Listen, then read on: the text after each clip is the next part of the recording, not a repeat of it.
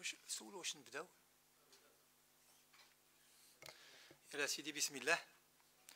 الضيوف الكرام مرحبا بكم بمؤسسة الفقيه التطواني يسعد مؤسسة الفقيه التطواني أن تستضيف اليوم نخبة علمية مشهود لها بالكفاءة والموضوعية.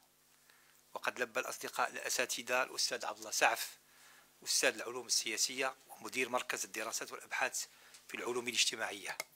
الأستاذ أحمد عصيد كاتب وفاعل حقوقي والأستاذ عبد الحميد بن خطاب أستاذ العلوم السياسية رئيس الجمعية المغربية للعلوم السياسية والأستاذ محمد بن هلال أستاذ التعليم العالي. الأساتذة لبوا الدعوة مشكورين كما اعتذرت لظروف خاصة الأستاذة أمينة المسعودي. نتمنى أن نراها إن شاء الله في حلقة قادمة من أنشطة المؤسسة. يندرج هذا اللقاء في إطار برنامج السياسة بصيغة أخرى. هذا البرنامج الذي توخينا من خلاله المساهمة في دعوة الفكر الجمعي إلى التفكير في ولوج مداخل جديدة لمقاربة وممارسة الفعل السياسي. ونحن ندرك صعوبة هذا الاختراق الذي يحتاج إلى المزيد من الجرأة والإصرار على استحداث أنماط جديدة للتفكير. دعوتنا لهذه النخبة العلمية بمؤهلاتها الفكرية للمساهمة في نقاش أكاديمي حول المشهد السياسي يراهن على إمكانية الفكر النقدي الحر والموضوعي من جديد أنماط التفكير في السياسة وتأطير ممارستها وتوجيه الرأي العام نحو ضرورة مساءلة الأحزاب وفقا لبرامجها مما يساعد بدون شك في إكساب الشرعية للنظام الديمقراطي لبلادنا. هل بالإمكان اليوم بعد التحولات الاجتماعية أن نفكر أو نمارس السياسة بصيغة أخرى؟ يسائل هذا اللقاء العلمي مرحلة مهمة من التاريخ السياسي لبلادنا. تجاوزت العقدين من الزمن. حقق المغرب خلالها مكتسبات جسدتها إرادة عالية في إعادة هيكلة الدولة. وترسيخ المفهوم الجديد للسلطة والشروع في الإصلاحات الدستورية والحقوقية. كما شكل خطاب التاسع من مارس جوابا تاريخيا وسريعا ومختلفا عن الأجوبة الأمنية التي قدمتها أنظمة أخرى.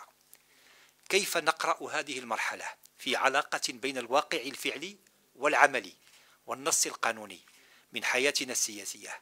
وإلى أي حد أعطى الدستور نفسا جديدا للحياة السياسية والمؤسساتية والذي على ضوئه تم انتخاب وتشكيل حكومتين ونحن اليوم أمام حكومة أخرى ثالثة. تحولات هيكلية طالت مختلف مناحي الحياة ببلادنا. أوراش اجتماعية ووعي متنامي بضرورة الإصلاح ومواكبة شعبية غير مسبوقة للفعل العمومي. هل بالإمكان في سياق وطني من هذا المستوى أن نتحدث عن الأدوار الجديدة للأحزاب السياسية في ضوء هذه التحولات الاجتماعية. ما هي طبيعة هذه الأدوار؟ في ظل نظام انتخابي لا يساعد على قيام ثنائية قطبية. وفي مشهد حزبي أفرز العديد من المحطات عن تحالفات تضم أقطابا بمرجعيات مختلفة. ما هي القراءة التي يمكن أن نقدمها لمفهوم الثنائية القطبية وهل يشكل أفق وواقع العمل السياسي إمكانية تحالفات وآفاق تسمح بتشكيلها الطبيعي؟ في ظل هذه التحولات الاجتماعية وما وكبها من حضور قوي للفعل الاحتجاجي وحضور المشروع البرامجي للأحزاب السياسية هل بإمكان هذه التحولات أن تغير من طبيعة الخطاب السياسي الذي غطى الشعبوي منه مرحلة مهمة في المشهد السياسي ببلادنا. أسئلة المشهد السياسي من زاوية الفعل الحزبي يشكل محور هذا اللقاء مع التذكير بالأدوار الفاعلة للإعلام والمجتمع المدني والفعل النقابي التي من خلال تفاعلها يمكن استكمال الصورة بكل مكوناتها. سعيد بمؤسسة الفقيه التطواني بحضور هذه النخبة العلمية التي ستقدم قراءة أكاديمية لهذا المشهد كما تقدم إجابات تساعدنا جميعا على بناء رؤية موضوعية للوضع السياسي الذي نعيشه. أستاذ الكريم غادي نعطيو الكلمة في بداية هذا اللقاء الأستاذ عبد الله سعف. آه، العروض غادي تناول تقريبا في حدود ما بين 10 إلى 15 دقيقة على أساس أن نفتح يعني النقاش للقاعة. في إطار التفاعل مع العروض التي ستقدم في هذا الموضوع. أستاذ سعف آه، غادي يتكلم لنا على قراءة في مميزات هذه المرحلة وغادي نستمعوا له. تفضل أستاذ سعف.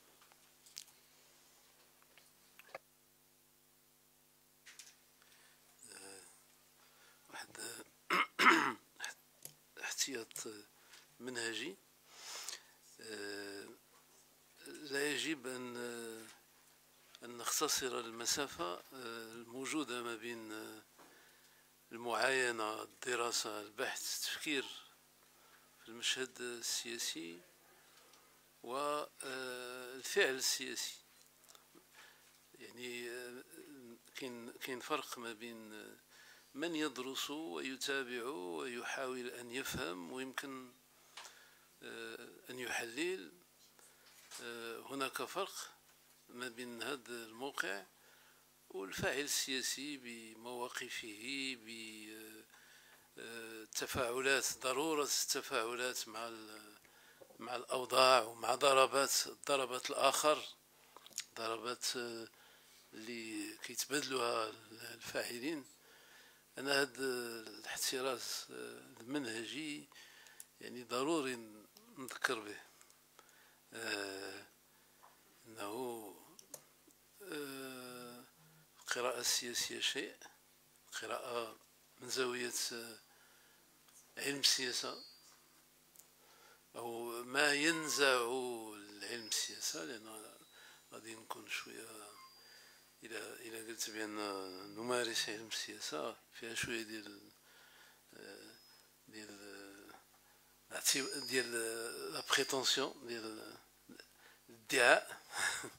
ولكن نحاول أن نعرف ما يجري في الساحة بموضوعيه وبهدوء وب... أنا بغيت نتكلم على بعض المميزات اللي كتبان لي آه واضحة في المرحلة الحالية. المسألة الأولى هي قوة الدولة. مسألة واضحة للكل. يبدو بأنه من خرجنا من وباء كوفيد. وجدنا نفسنا أمام دولة كانت حاضرة ولكن ازدادت قوة قوتها وازداد ازدادت الهالة التي تحيط بها وترسخت تقوت مشروعيتها. آه، والسلطة خاصة في الأيام الأولى ديال المرحلة ما بعد الوباء. السلطة وكأنها عاد حياة من جديد وتقوت وإمكانية الفعل اللي بين يدين الدولة آه، تكتفات تكتفات تقوت بشكل واضح. وفي نفس الوقت آه، هناك علاقة جديدة مع مع المجتمع. آه، هذه هذه النقطة الأولى. يعني بالمقابل النقطة الثانية بالمقابل الفاعلين السياسيين حكومة معارضة أغلبية ومعارضة آه، المستويات المختلفة كاين فرق ما بين قوة الدولة وموقع آه، وأداء وفعل وأهمية مختلف المؤسسات حكومة برلمان أحزاب نقابات بما فيها المجتمع المدني. الفرق كبير وأميز بين الدولة والفاعلين السياسيين. وازدادت المسافة والمشهد بما أن الموضوع والمشهد يبدو بأنه مشتت مقسم وبأن الحدود ما بين الفضاءات اللي موجودة في هذا المشهد ما وضحش شنو اللي كيميز هذا القطب عن الآخر؟ غير واضح. و وكاين كاين إشكالية إشكالية أنه النقص في الحيوية وفي الدينامية الفعل السياسي. آه هذه الخاصية الثانية باش نكون مركز و آه تنوع المشاريع اللي كيحملها كل طرف. تنوع نسبي جدا. كيبانش كيبانش شنو جايب هذا بالنسبة للآخر. آه و آه كما قلت التنافسية تعني آه يعني انحدار حيوية المجتمع. انحدار يعني خفوت الحيوية ديال الجسم الجسم المغربي. وهاد المسألة هذه آه، يمكننا نستقروها في الأوضاع ديال الأحزاب النقابات الجمعيات المكونات كاملة. آه، بالنسبة للحظات سابقة يبدو بأن كاين هاد هاد الفرق. ثلاثة أه كنعرفوا إذا قوة الدولة وشنو ضعف تشتت أه تشتت النسبي ديال القوى السياسية والاجتماعية. أه ثلاثة اللي حامل شي مشروع كيبان بأن المشاريع حنا كنذكروا ماذا كان يعني برنامج ديال حزب رؤية والأهمية اللي كانت عند مثلا ما, ما نسميه الوثيقة الإيديولوجية. كنذكروا الأهمية ديال هذه الأدبيات عندها طابع مقدس والنقاشات. كانت الحياة ديال الأحزاب كتدور حول هذه الأشياء والبرنامج الانتخابي وانتخابات التشريعية وانتخابات المحلية. وكانت مجهودات كبيرة تستثمر في هذه الوثائق.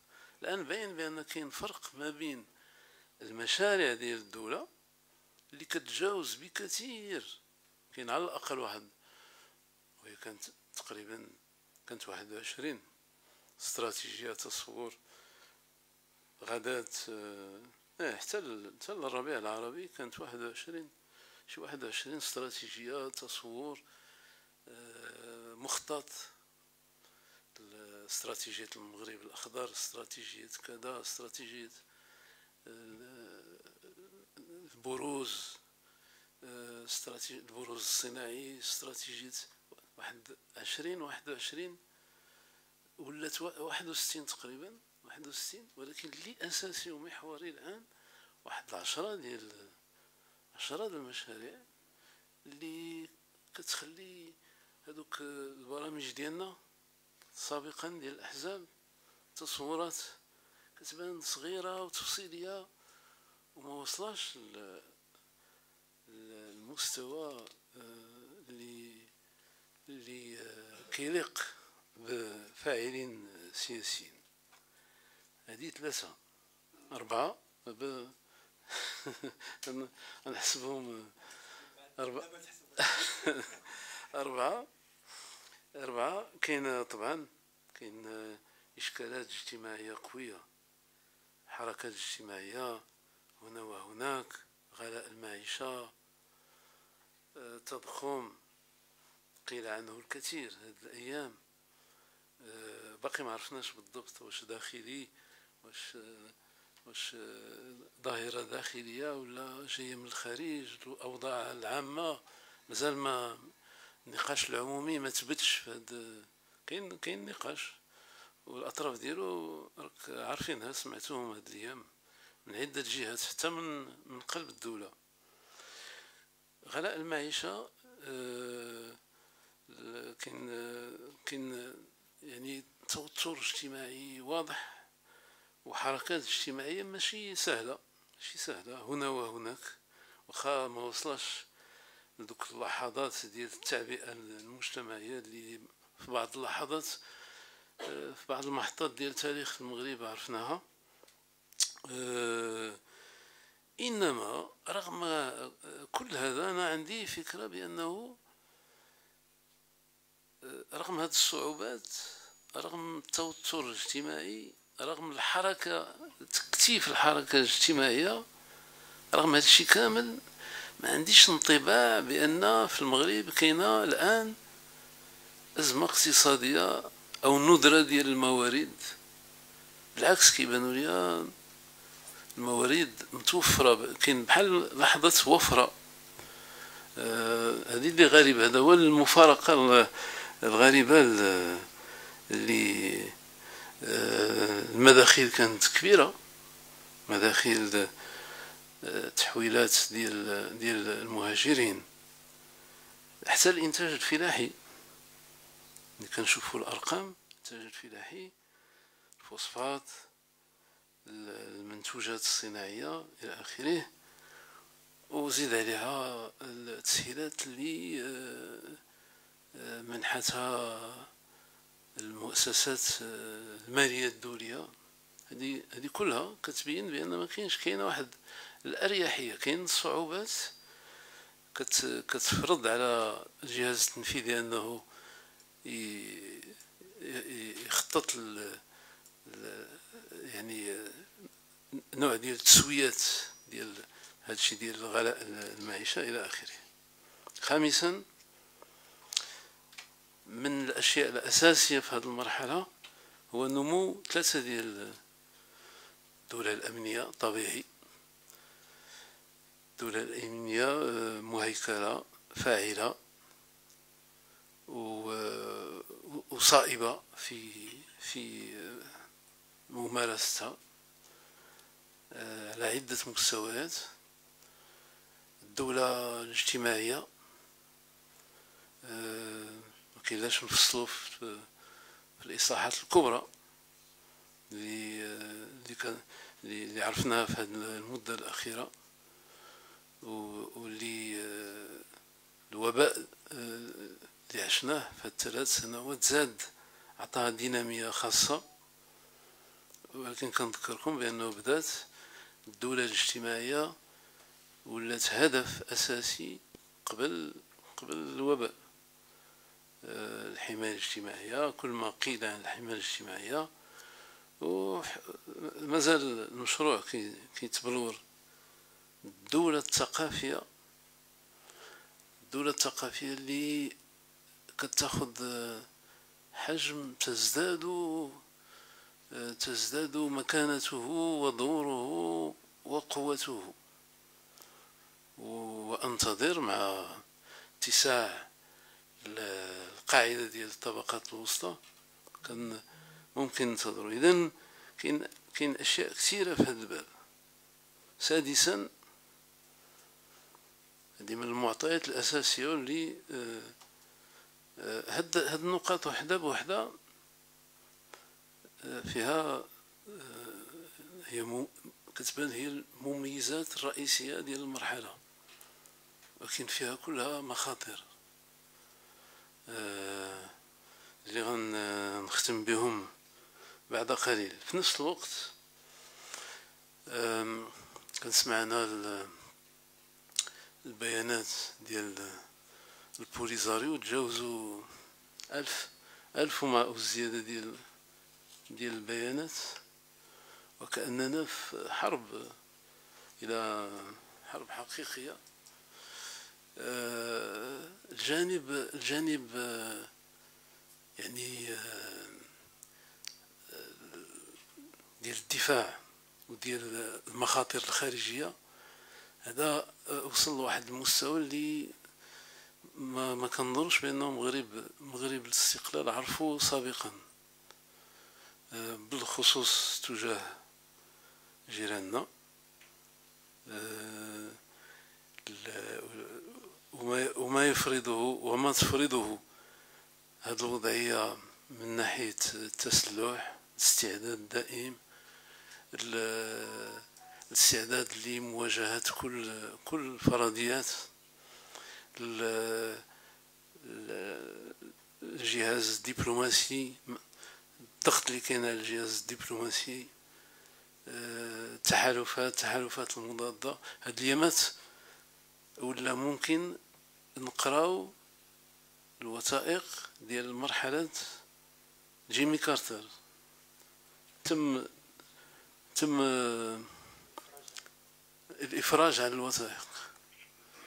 واللي يقرأ دوك الوثائق واحد 30 وثيقة ديال وزارة الخارجية الأمريكية كيكتشف بأن آه، كان المغرب ممنوع عليه أنه يستعمل أسلحة أمريكية لأن في الاتفاقات اللي كانت مع الولايات المتحدة ممنوع استعمال هذيك الأسلحة خارج الحدود اللي كتعترف بها أمريكا.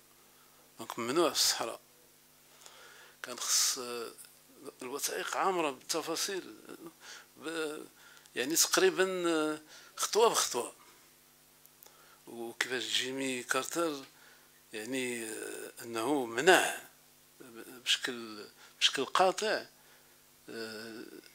يعني أن المغرب يتوفر على أسلحة جديدة و وما يكفيه. في الوقت اللي كانت المخاطر وصلت لواحد المستوى آه، ما عندوش ما عندوش مثيله في السابق.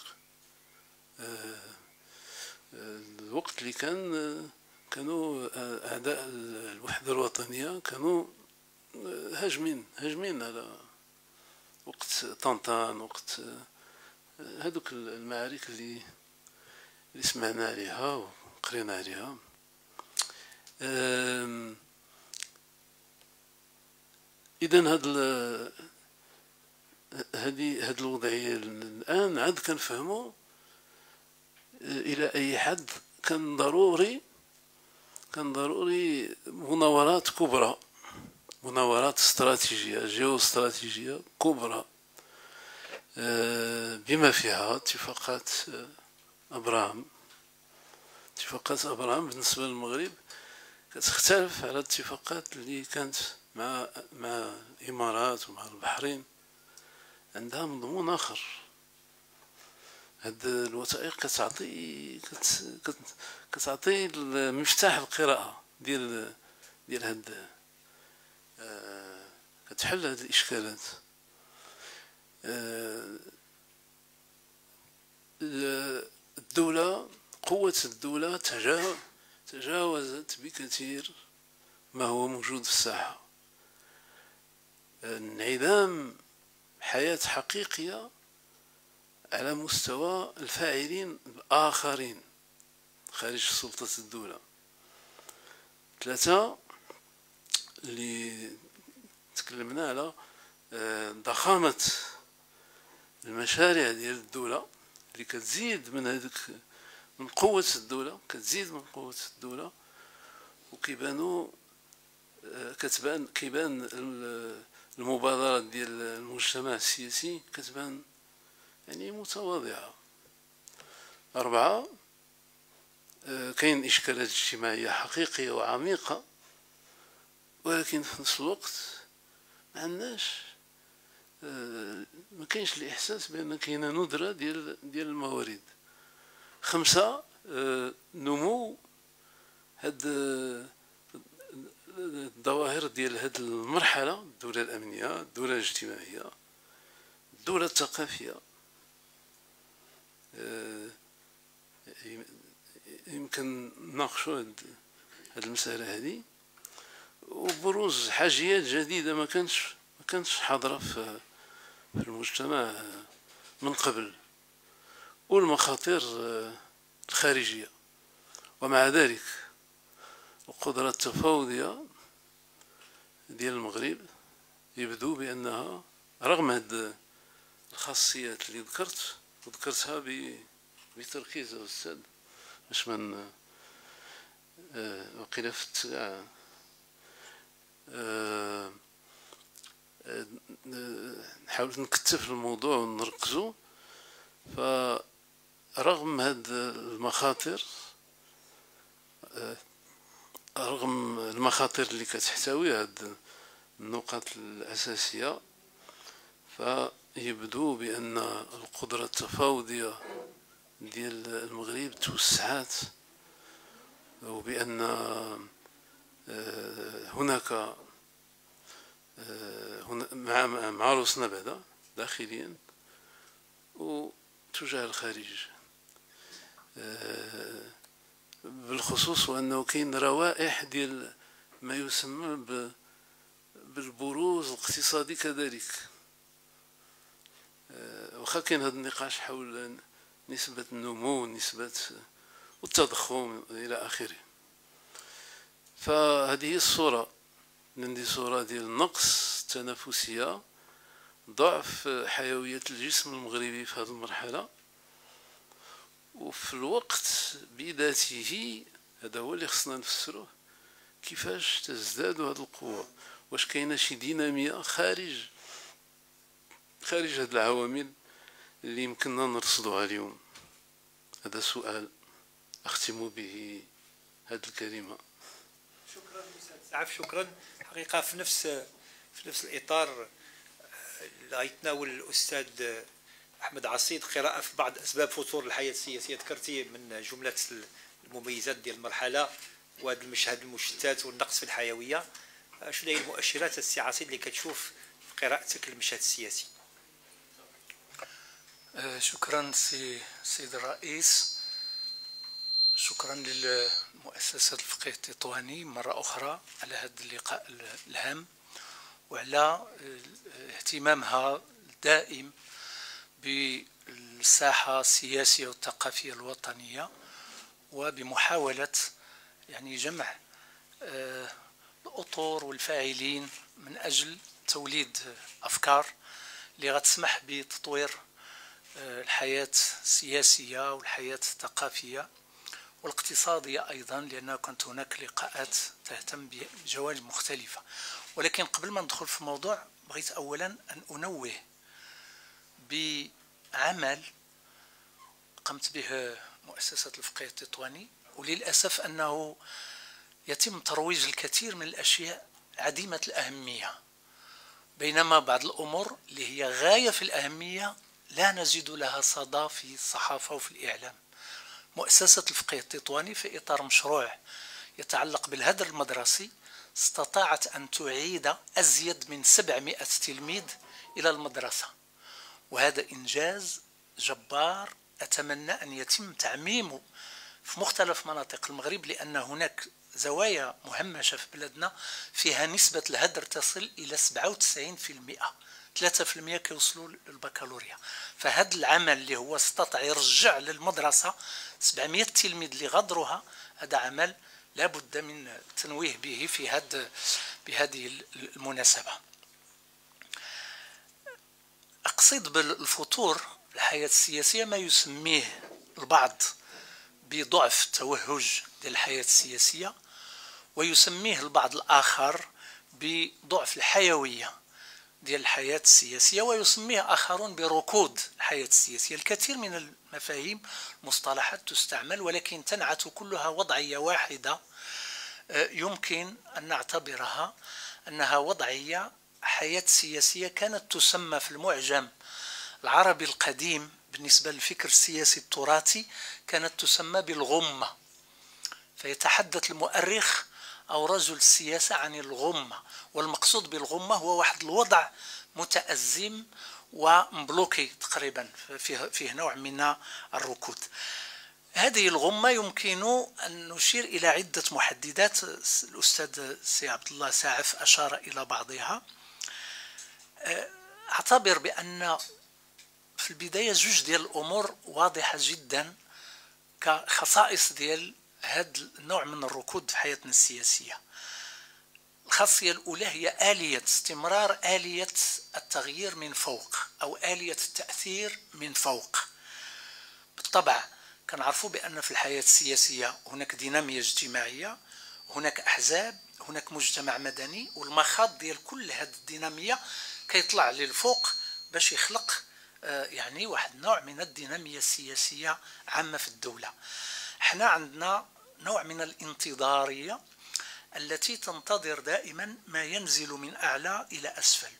وهذا يجعل أن الدولة في الواقع ليست قوية إلا إذا بغينا نقصدوا بالقوة أنها حاضرة في كل الفضاءات وتحتل كل المساحات. لأن الدولة القوية هي اللي القوة ديالها آه، جاية من من أسفل إلى أعلى. يعني من مصداقيتها لدى الفاعلين المختلفين ومن العلاقات المتوازنة التي لديها بكل مع كل الفرقاء الآخرين. فإذا استمرار هذه آلية التأثير من أعلى يعني تطبع الحياة السياسية المغربية بقوة. بالإضافة إلى الخاصية الثانية اللي كنلاحظوها من 2011 من دستور 2011 إلى اليوم وهي تزايد الهوة بين آه، المكتسبات النصية اللي حققناها بالنضال ديالنا في 2011 جميع الأطراف اللي شاركت حققنا مكتسبات مهمة على مستوى النص الدستوري مقارنة بالنص السابق. هذا شيء لا شك فيه. ولكن عندنا هو مع الممارسة المؤسساتية والممارسة السياسية وممارسة السلطة ممارسة الدولة مع تلك النصوص. إحنا الآن في 2023 إلى غادي نذكر لائحة ديال المكتسبات اللي حققناها دستوريا وما زالت لم تتحقق إلى اليوم فهي كثيرة. ثم هناك واحد المشكل كبير.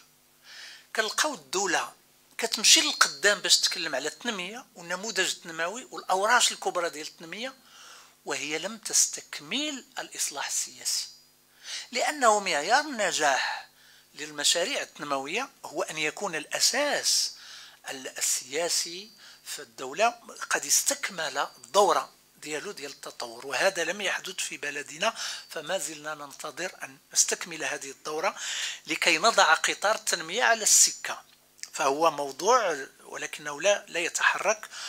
ولهذا غادي نلاحظوا بأن نموذج تنموي شاركنا فيه كلنا كسياسيين ومدنيين وأطراف كاملة بل إن اللجنة ديال السي بن موسى نزلت إلى أطراف البلد وحاورت ناس من مختلف الفئات الاجتماعية. فأين هو الآن هذا النموذج التنموي إحنا درسناه في أربعة أشهر. درسنا الفرق بين النموذج التنموي والبرنامج الحكومي هذا العمل ديال حركة ضمير فيه 200 صفحة. وقدمناه لجميع مؤسسات الدولة. ولاحظنا بأن بنسبة 95% يغيب النموذج التنموي في برنامج الحكومة. إذا ثلاث سنوات ديال الزمان يعني انفقناها في الكلام الكبير حول التنمية في بلادنا ولكن في النهاية لم تست... مع العلم أن الزمن التنموي المقصود ممتد على 15 سنة.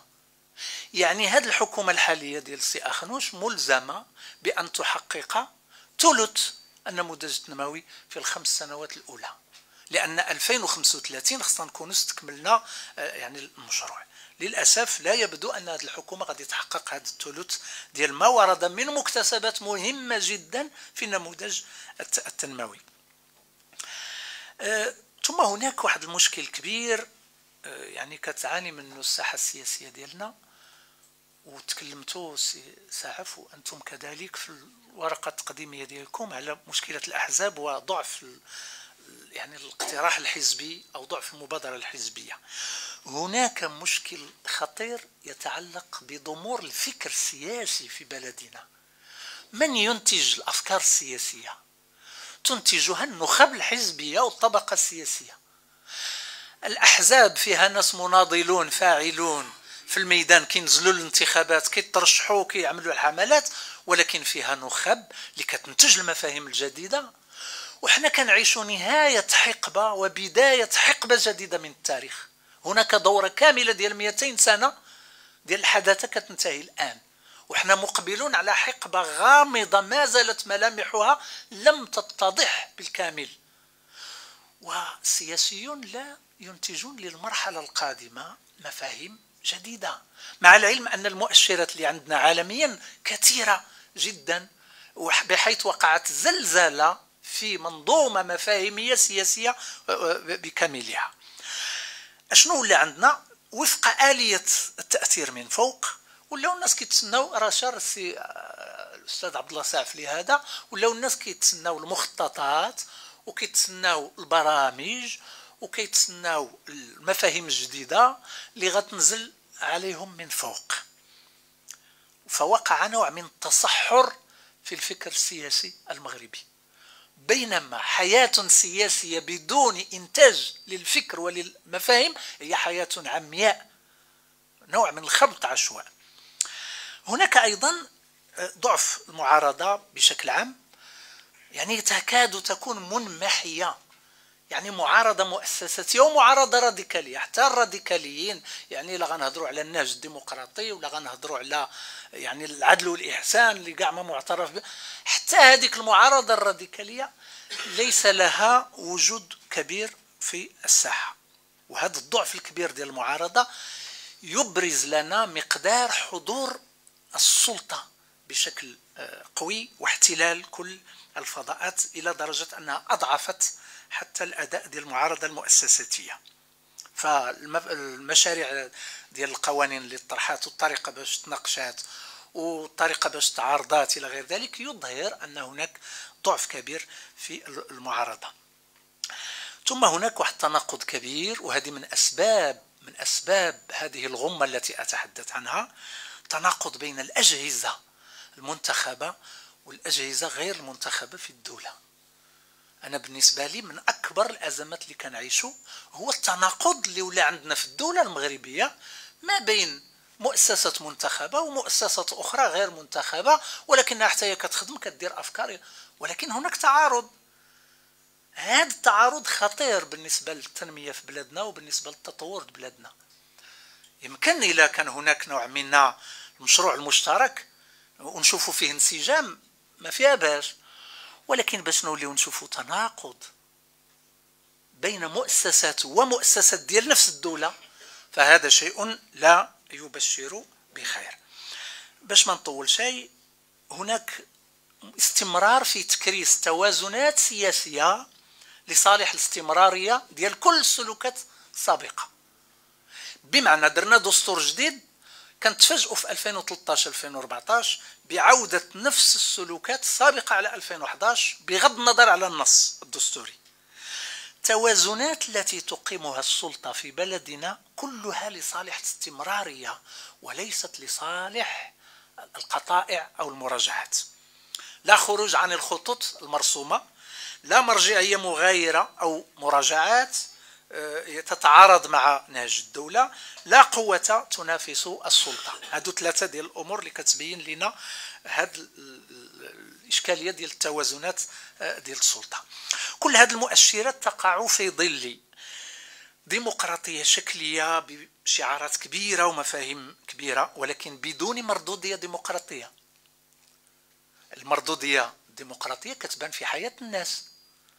حياة الناس. إلا قلنا مثلا تنمية العالم القروي خاصني نشوف عالم القروي كينمو بالفعل. دخلنا الكهرباء ودخلنا الماء ل 97% تقريبا أو 96% ديال الدواور ولكن الناس كيخويو بسرعة مرعبة. علاش؟ لأن ما كايناش حياة. تنمية العالم القروي ماشي هما الماديات فقط. واذا كان المنظور ناقص وغير غير غير سليم. استمرار صراع الوجود بسبب عدم الحسم في الاختيارات الكبرى. يعني أننا في 2011 درنا واحد المجموعة زدنا واحد المقدس رابع المقدسات الثلاثة وقلنا الخيار الديمقراطي. أصبح من مقدسات البلد. ولكن الخيار الديمقراطي يفرض علينا الحسم في اختيارات كبرى. اللي غتجعل بلادنا بلادنا تمشي بعيد في كل المجالات.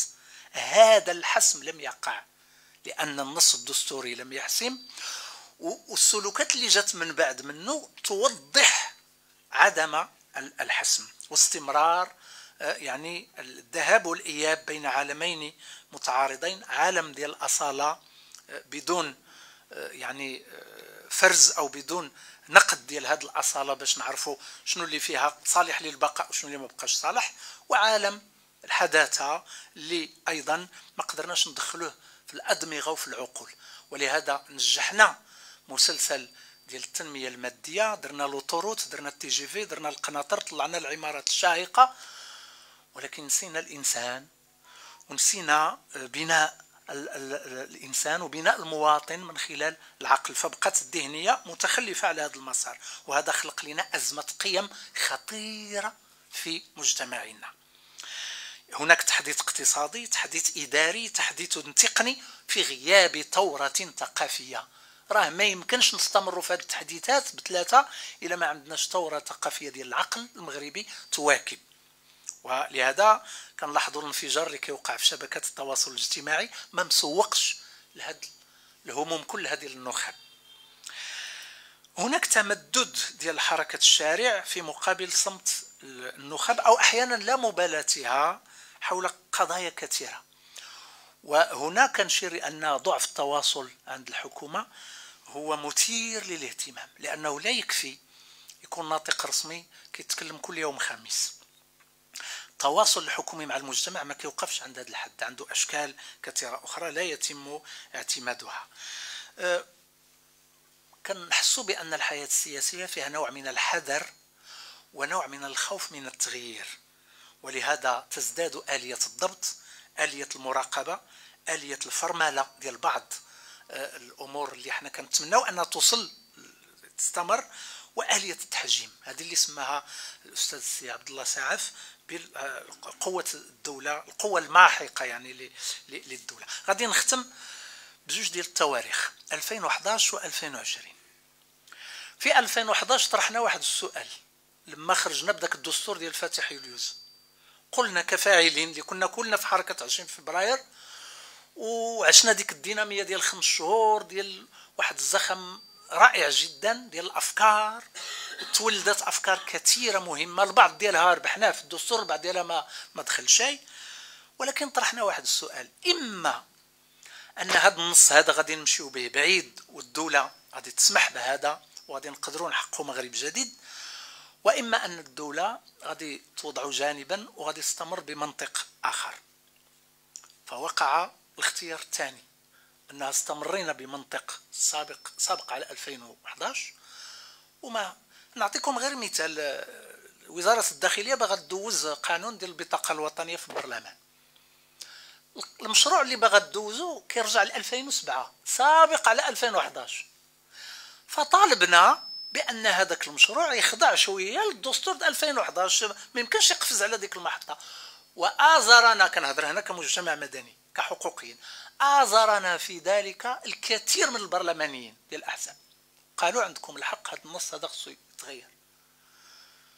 وإذا به كنتفاجئوا واحد النهار فجأة بالتصويت بالإجماع وتوقف النقاش في اللجان وتوقف كل شيء وداز القانون ديال 2007 داز في. فهذا كيبين بأن هناك قفز فعلا على هذه اللحظة التاريخية الهامة. مسألة 2020 طرحنا عاود سؤال آخر شنو هو؟ هاد كوفيد راه هضر عليه السي هاد كوفيد إما أنه سيخلق الدولة الدولة الحاضنة للمجتمع وغادي يخلق واحد نوع من التعاون والتضامن بين الدولة والمجتمع وغنمشيو بعيد من بعد التجربة والمحنة كوفيد وإما أنه غادي نوصلوا ل الهيمنه عن طريق الخوف. وكان الخيار الثاني هو اللي مشينا فيه. علاش؟ لأن الدولة وماشي غير في المغرب عدد كبير من البلدان بما فيها بلدان أوروبية.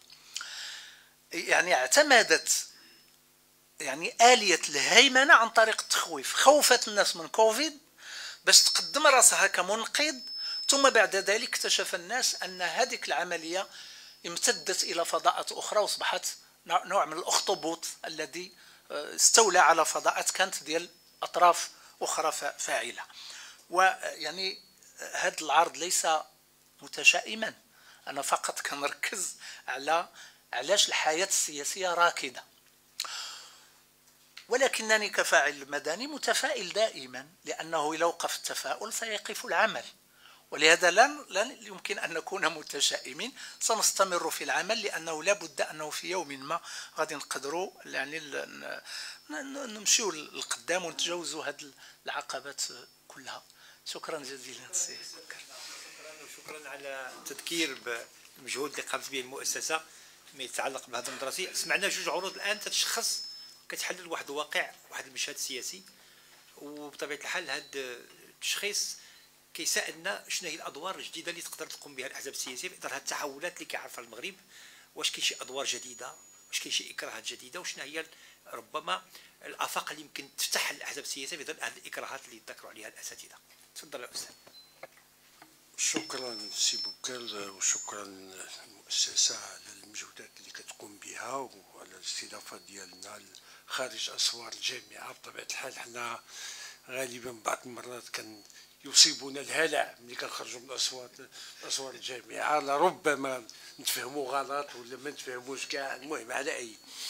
آه الورقة ديالي تتحدث حول فيها ثلاثة ديال الجوانب. كاين واحد النوع ديال الراديوسكوبي ديال المشهد الحزبي ما يقع.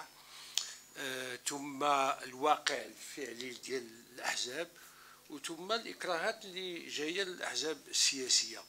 آه القراءة القانونية مثلا الواقع الحزبي إذا ما رجعنا للدستور والقانون التنظيمي ديال الأحزاب كنلاحظوا على أنه قدم واحد التعريف تقريبا اختزالي لمفهوم الحزب.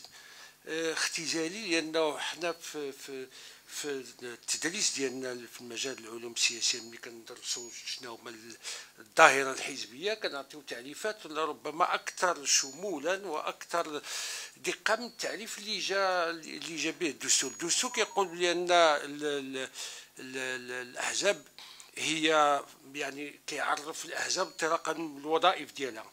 هي هيئات تعمل على تأطير المواطنين وتكوينهم السياسي وتعزيز انخراطهم في الحياة الوطنية وفي تدبير الشأن العام وتساهم في التعبير عن إرادة الناخبين والمشاركة في ممارسة السلطة. آه كيجي القانون التنظيمي كيضيف واحد الإشارة كيضيف واحد البعد التنظيمي للحزب. ما كيبقاش غير الوظيفة ديالو. كيزيد البعد التنظيمي وكيقول لنا بان الأحزاب السياسية هي تنظيمات سياسية دائمة. يعني تدوم يعني أكثر من دوام الأشخاص الذين أسسوها وتتمتع بالشخصية الاعتبارية. إذا كيعطينا بأن نحن أمام تنظيمات آه، تتمتع بالشخصية الاعتبارية بالشخصية القانونية بمعنى أنها خاضعة للقانون وأن أفعالها يعني ملزم أفعالها يعني آه، آه، تخضع للمساءلة القانونية وتخضع أيضا للمساءلة الدستورية والإدارية بطبيعة الحال. أه، البعد الوظيفي مثلا يتحدث على تأطير المواطنين. هذا تأطير المواطنين في الحقيقة هو كان واحد الوقت فعلا عندما نتحدث عن الأحزاب التي تؤطر المواطنين يعني يتبادر إلى الدين المباشر الأحزاب اليسار. يعني الأحزاب اللي كانت كتنزل الشارع المعامل الفضاء الحقول باش تأثر الجماهير. هذه الوظيفة هذه يعني آه، تقريبا تأكلت مع تطور تطور التطورات السريعة التي عرفتها المجتمعات. أيضا التنشئة السياسية. التنشئة السياسية نفس المواطنين اللي كيجي حزب مؤطر عنده إيديولوجيا عنده برنامج عنده فكر كيعلم هاد الناس هادو على الممارسة السياسية وعلى آه، آه، الوصول إلى السلطة بطبيعة الحال. هذه الفكرة ديال ثم تعزيز انخراط المواطنين في الحياة اليومية وفي في الحياة الوطنية وتدبير الشأن العام.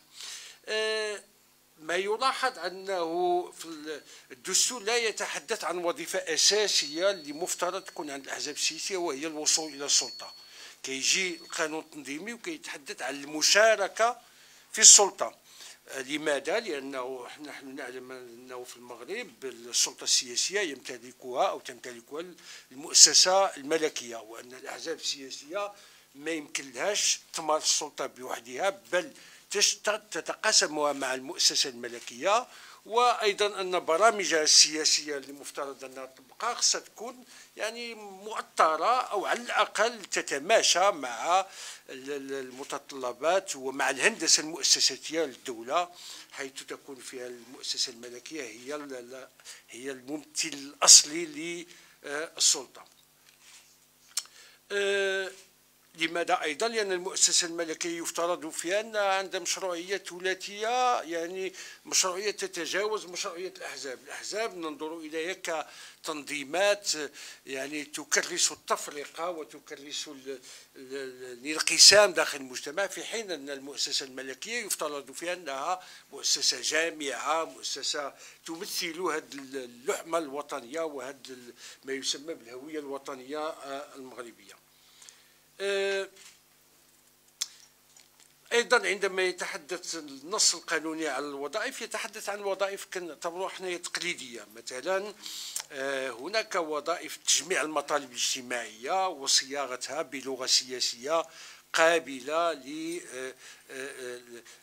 يعني التسجيل في ما يسمى بالاجنده ديال السياسات العموميه بمعنى انه كاين متطلبات اجتماعيه الاحزاب السياسيه تقوم بجمعها وبتلخيصها وبصياغتها بلغه سياسيه مفهومه قابله لأن تندرج ضمن السياسات العموميه مسألة أخرى التنشئة السياسية قلنا على أنه مسألة يعني وظيفة تقليدية كاين دعاية وترويج لمعتقدات سياسية ومذهبية لاعضائها وهذا أمر عادي لأن كل حزب يفترض أنه عنده هوية سياسية ومرجعية وأنه يروج لها ويبحث عن قاعدة اجتماعية لها.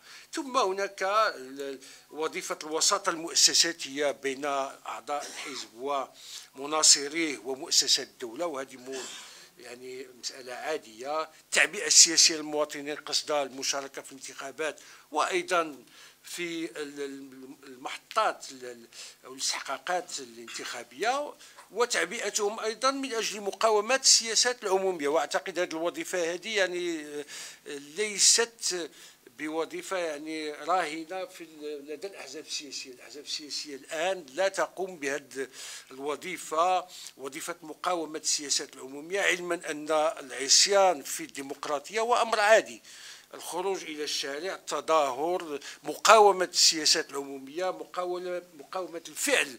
العمومي مسألة عادية جدا وتقتضيه الأخلاقيات ديال العمل السياسي داخل الديمقراطيات ثم هناك وظيفة أخرى أيضا تقليدية تعبئة النخب السياسية من أجل تحمل المسؤولية الأحزاب السياسية يفترض أنها دي بيبينيير كتجمع الناس كتكونهم من أجل ماذا؟ باش يجي واحد النهار أنها تقوم بالدور ديالها اللي هو مطلوب منها أنها تسير شؤون البلاد سواء على المستوى الوطني أو على المستوى المحلي.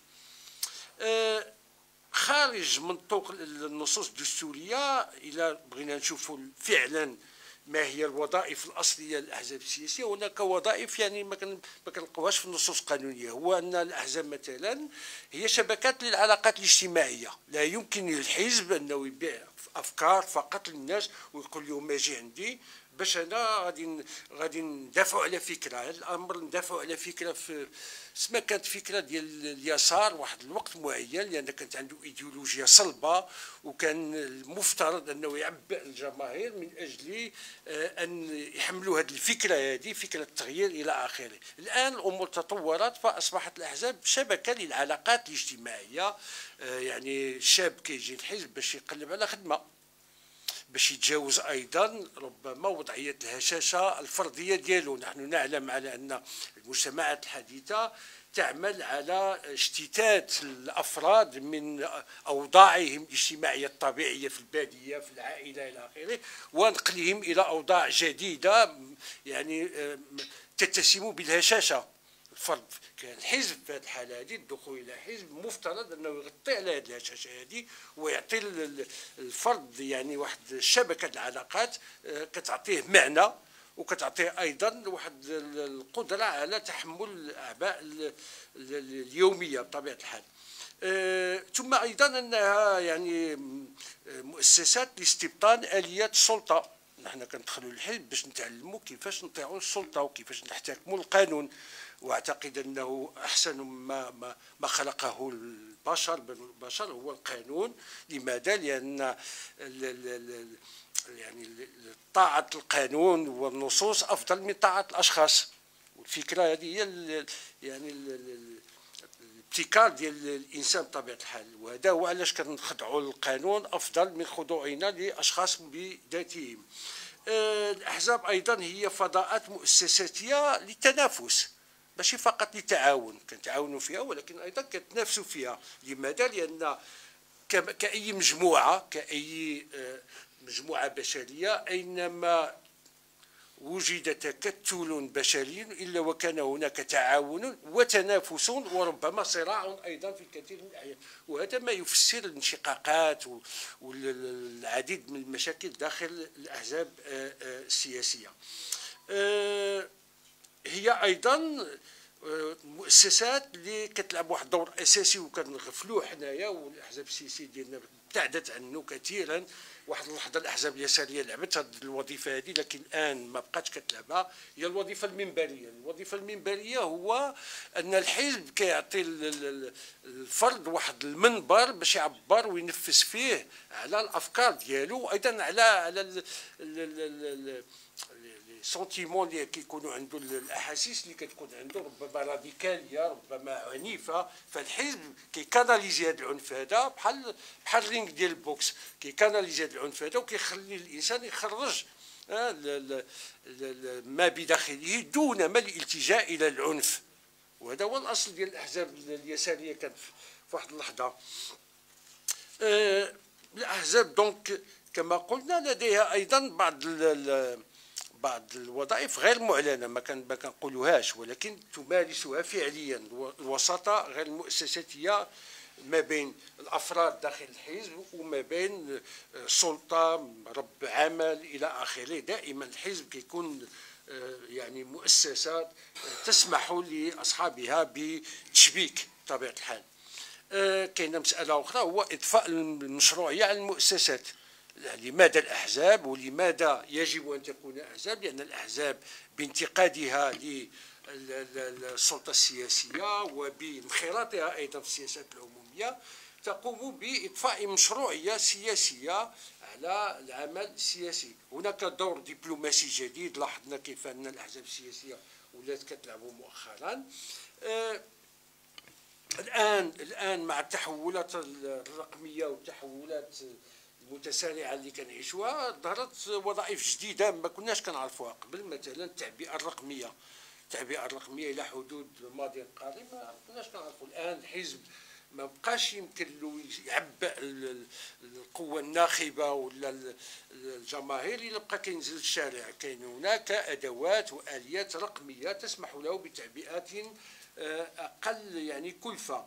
آه، كاين أيضا توجيه الرأي العام وتعبئته هذا مفروض انه الأحزاب السياسية تلعب خصوصا في ضوء التحولات الرقمية الراهنه الأحزاب يفترض اليوم أن تصل إلى الجمهور أكثر من ذي قبل علما انه هذا ما حصلش.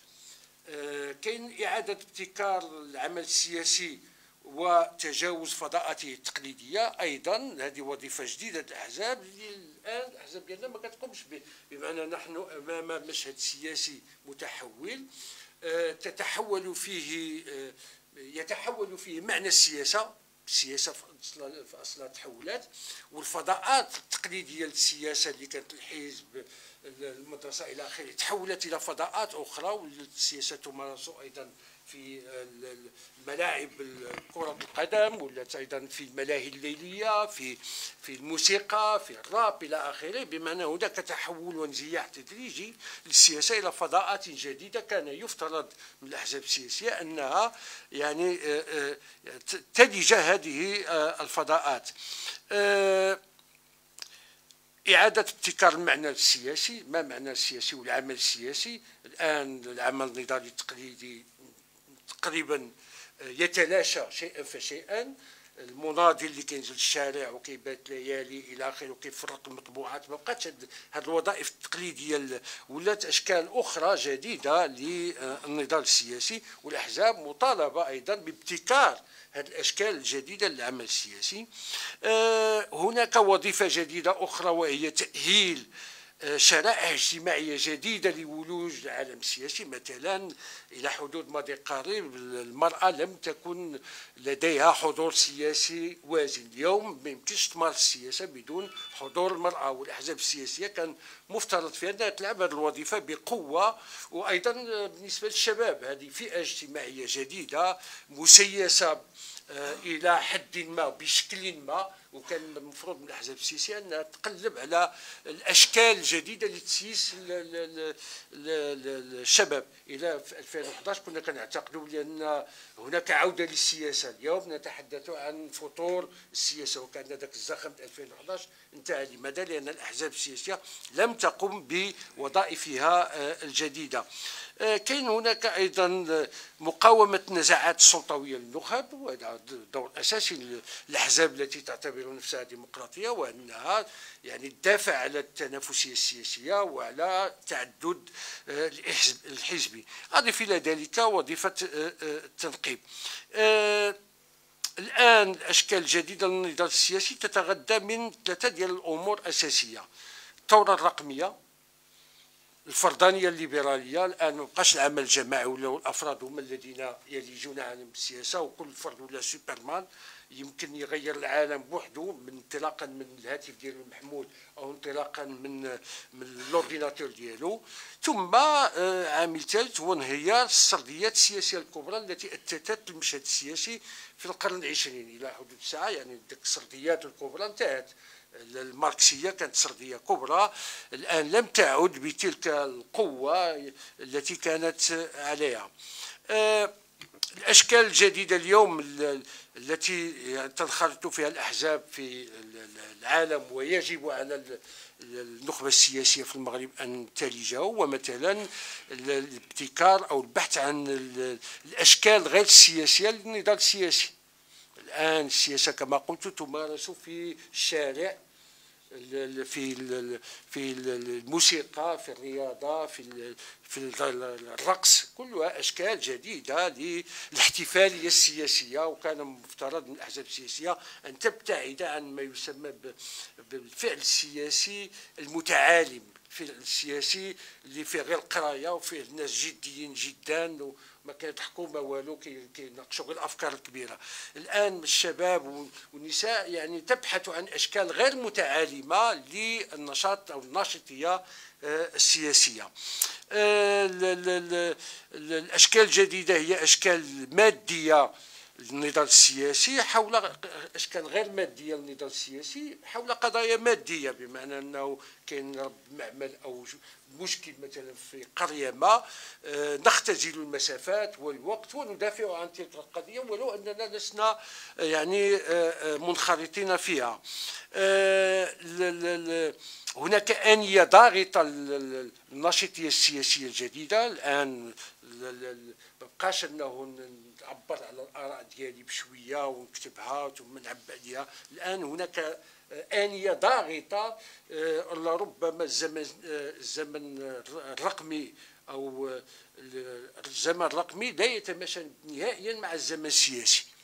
الفاعل السياسي لديه وقت للتفكير لرد الفعل إلى آخره لكن صاحب النقرة لا يعترف بهذا الفاصل الزمني الواجب بين التفكير والفعل.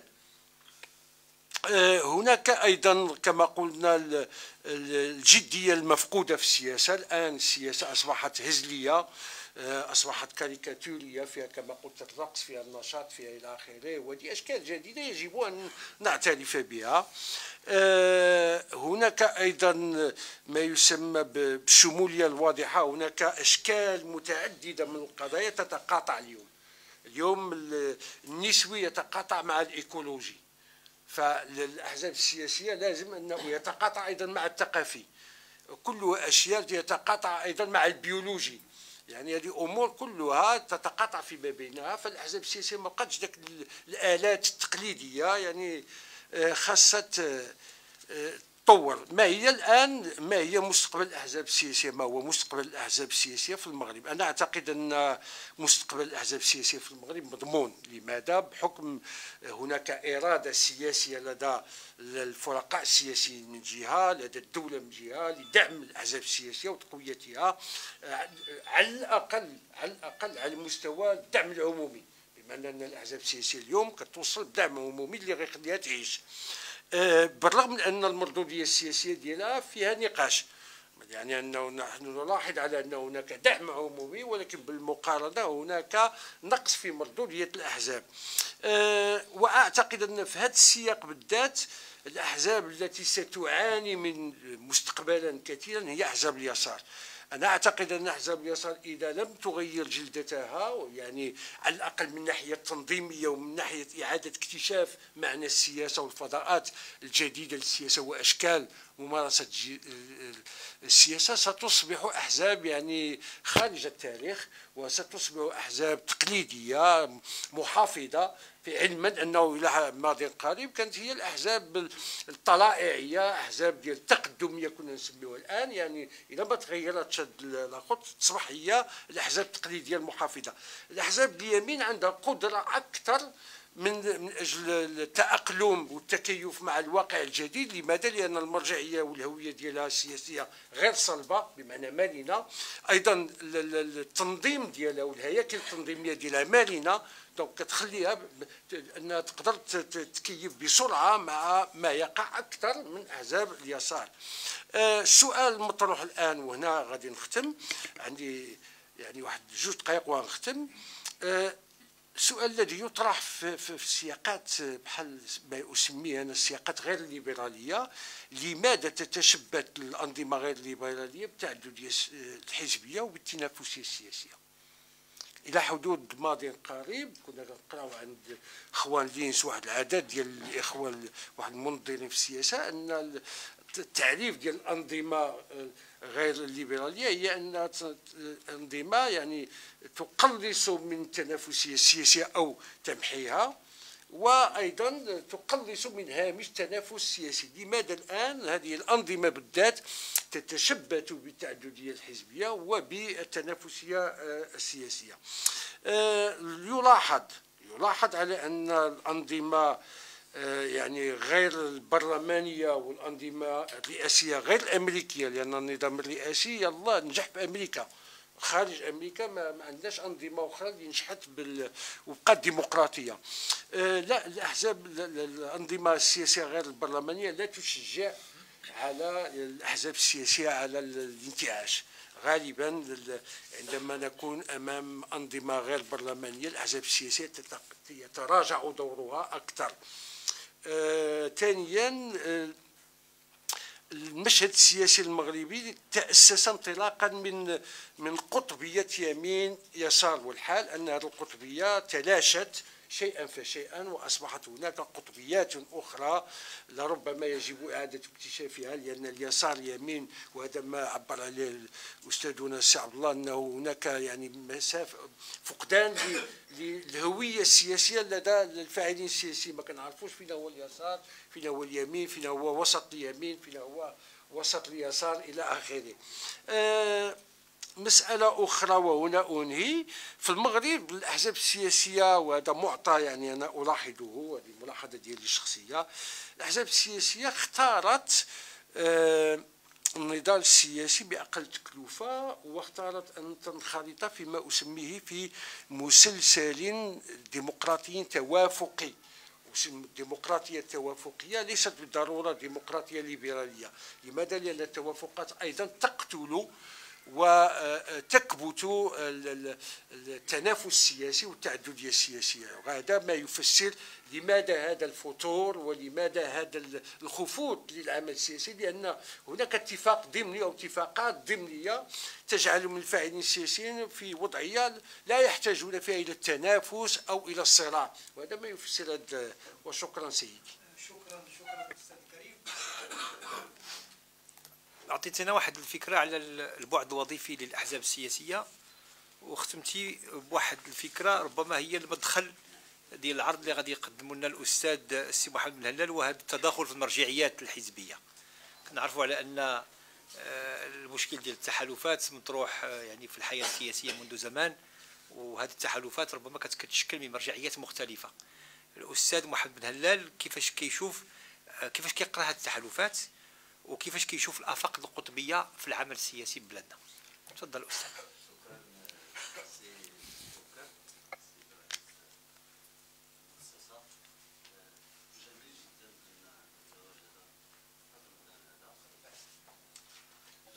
في الأمسية الرمضانية لنتناقش في هذا المجال العمومي حول موضوع جد مهم وهو المشهد السياسي المغربي. لاحظت بأن كاين مقاربات متعددة كاين مقاربة الأكاديمي مقاربة الفاعل الجمعوي. أه، أنا سأندرج ضمن المقاربة الأكاديمية. الهدف هو أن نفهم ما هو المنطق الذي يحكم تحالفات الحزبية بالمغرب. إمكانية التكتل ثم هل يمكن أن نتحدث على قطبية؟ سأستخدم واحد المؤشر آه، مؤشر هيرشمان الذي يقيس الذي يقيس هذه في الدراسات الانجلوساكسونية من أجل فهم اتجاهات القطبية وعدم القطبية. نأخذ عدد الأصوات أو عدد المقاعد التي يحصل عليها كل حزب. إذا لم تصل النسبة نسبة الأحزاب المهيمنة نسبة معينة فلا يمكن أن نتصور قطبية مطلقا.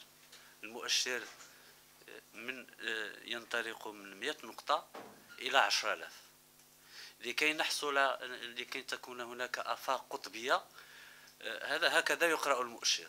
لا بد أن نصل إلى 3600 نقطة. طبقت المؤشر على تحالفات الحكومية بالمغرب. وسأستعرض عليكم النتائج. أولا لا بد أن نشير أنه من باب من القول أن نقول بأن كانت هناك عدة محاولات في السياق المغربي للائتلاف آه، منذ التاريخ آه، المغربي. آه، في بعضها كان في في مرحلات متأزمة من التاريخ السياسي المغربي وهي مرحلة السبعينيات والكل يعرف محاولة الاستقلال والحزب الوطني. القوى الشعبية من أجل بناء الكتلة الوطنية. من سنة بداية السبعينات. رغم أنها لم تحل من الناحية القانونية ولكن جمدت لكي يتم إحياؤها في بداية التسعينيات. آه، آه، في انتخابات ديال 93 ووسعت لتضم أحزاب أخرى. أيضا لم بدورها هذه التجربة لم تؤدي إلى بسبب عدم الاتفاق بين الأحزاب المشكلة للكتلة حول إمكانية ترشح ربما السعب شاهد على هذه المرحلة وهل هل لم يتفقا على الترشح الوحيد المرشح الوحيد بين أحزاب الكتلة وهو ما حصل في التكتل الآخر. هذه مرحلة. أيضا نستحضر الوفاق. تكتل الوفاق آه، في 93 في نفس المرحلة ثم تكتل الوسط. تكتل آه، الوفاق استطاع أن يقدم يعني آه، مرشحا مشتركا في مرحلة معينة. لاحقا محاولة أخرى في سياق متغير وهو الحركة ديال التحالف من أجل الديمقراطية الذي ضم ثمانية أحزاب. وكان خليطا من أحزاب ليبرالية يسارية وتوجهات إسلامية محافظة. مع العلم أنا أتحفظ على استخدام هذه المصطلحات يصعب التي تحتاج إلى تدقيق كبير لكي تتلائم مع السياق المغربي.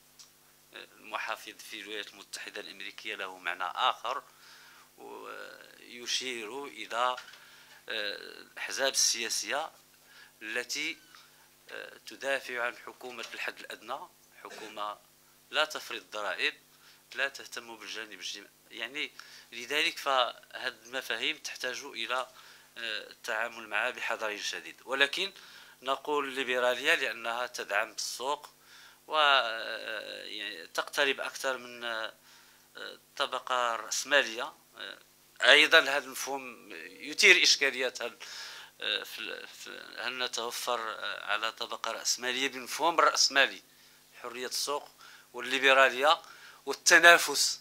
هل نحن نوجد في سياق اقتصادي آه، تنافسي لذلك ولكن نحن في محاولة للتشخيص فيفرض علينا اليسار أيضا هذا موجود آه، آه، ثم التوجهات الإسلامية مثل حزب النهضة.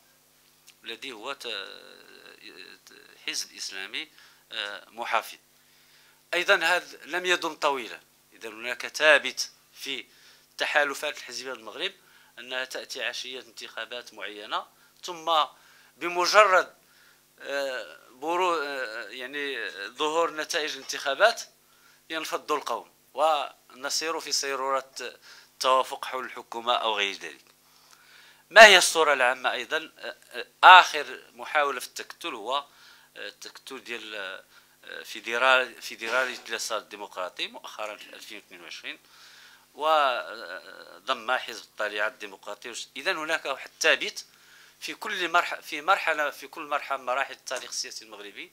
نجد طموحات أحزاب سياسية للاصطفاف في إطار تكتلات لمواجهة الأحزاب الأخرى.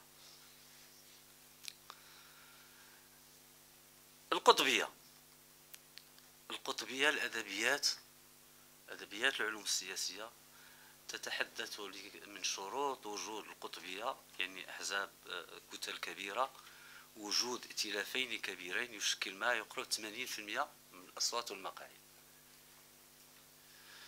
التوازن في الحجم الانتخابي كل كتلة تقريبا عندها 40 إلى 50% من المقاعد. ثم لا بد من استقرار التحالفات. بدون استقرار التحالفات لا يمكن أن نتحدث نحو توجه ثم التناوب في الحكم بين الائتلافين الكبيرين.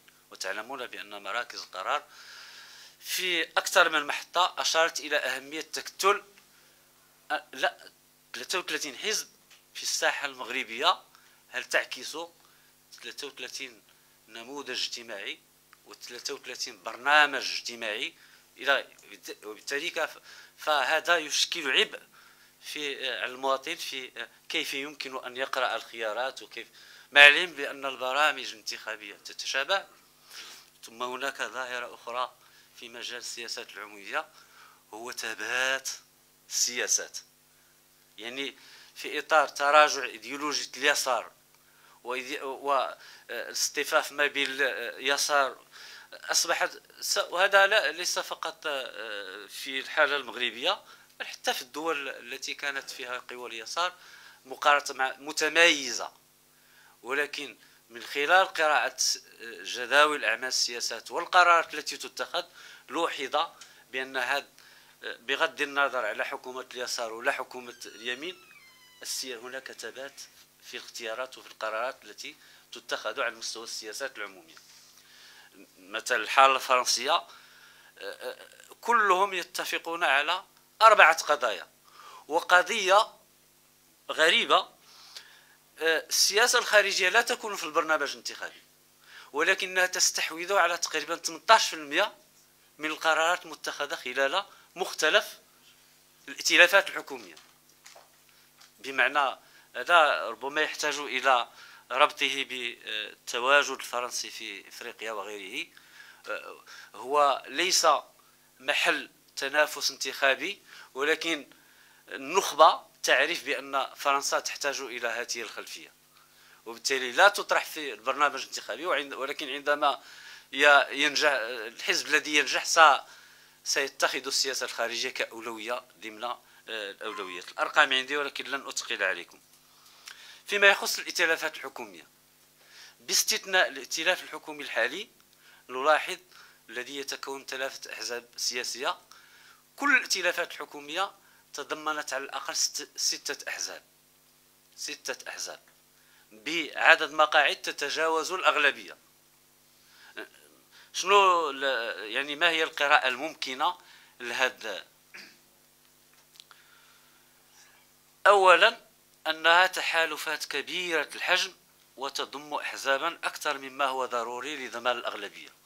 شنو الهدف من من الأغلبية؟ هو التوفر على عدد آه، معقول من البرلمانيين الذين سيساندون تصويت على القوانين وأيضا مناقشة وتهيئة القرارات. هذا الموقف ديال اعتماد التحالفات قد يكون مبررا في حالة حاجة الدولة أو المجتمع إلى إجماع واسع. تنكون إما في مرحلة أزمة أو فهذا مبرر أن نوسع التحالفات لأنها آه، هذا لا يوجد. وبالتالي آه، مثلا كان ذلك في حكومة الفاسي وحكومة بن كيران الثانية لأنه لم يستطع أن يتوفر على الأغلبية الحكومية. ثانيا القراءة الثانية في التحالفات. هو غياب الانسجام الإيديولوجي. ما كاينش تقارب. والانسجام الايديولوجي مهم لأن هذا يعني يقلل من يقلل من إمكانية الاختلاف حول مضمون السياسات. كلما كانت الأحزاب لديها آه، أساس فكري أو أساس إيديولوجي مشترك هذا سيسهل اولا حصولها حصول النخب ديالها على المنافع. هذا لأن هذا جزء من عملية تولي آه، المسؤولية العمومية وهو آه، المناصب الحكومية المناصب في مجال الوزارات إلى غيره هذا يحصل يسهل صعوبة يعني آه، يعني توزيع هذا المنافع الموازية للسلطة موجود في كل السياقات.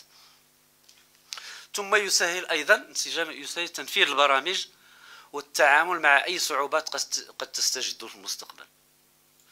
هذا نلاحظ وبالتالي آه، انسجام آه، آه، الإيديولوجي ناخذ حكومة سعد الدين العثماني مثلا ابريل 2017 كاين المحافظون حزب العدالة والتنمية ودائما التسمية لا مهم مؤشر فقط ما عرفش واش محافظ ولا.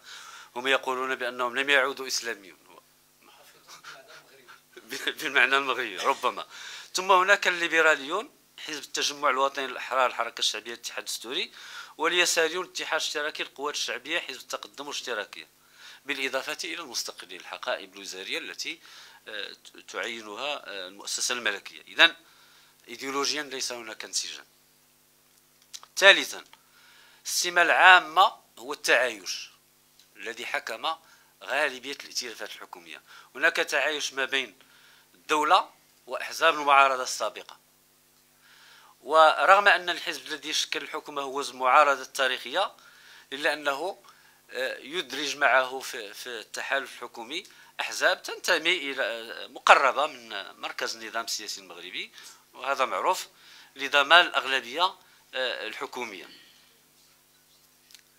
إذا هذه ثلاث خصائص تميز الائتلافات الحكومية بعد أن أشرنا في البداية إلى محاولات تكتل ديال الأحزاب السياسية. نتائج المؤشر. نتائج المؤشر الذي طبق على آه، الائتلافات الحكومية. حكومة عزيز أخنوش وصل المؤشر إلى الذي يضم أحزاب الأغلبية أو عدد مقاعد الأغلبية 1561 بمعنى نحن بعيدين على 3600 كبداية لتمركز كبداية لتمركز تكتل معين. نفس نفس الأمر في حكومة العثماني. هذه وصل فقط 1306 ده مؤشر معروف استخدم في المجال الاقتصادي لدراسة تركز شركات معينة في سوق والمقتربات في العلوم السياسية والعلوم الاجتماعية. عادة ما يتم طبقت في عدد من الدراسات حول المغرب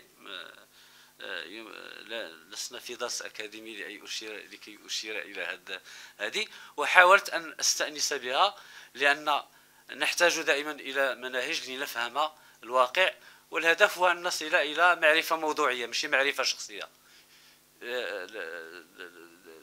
الأكاديمية تعلمنا ضع المواقف الشخصية بعيدا وحاول آه، تستخدم المناهج من أجل آه، ما هو السبب؟ يعني السبب ديال هذا ضعف القطبية و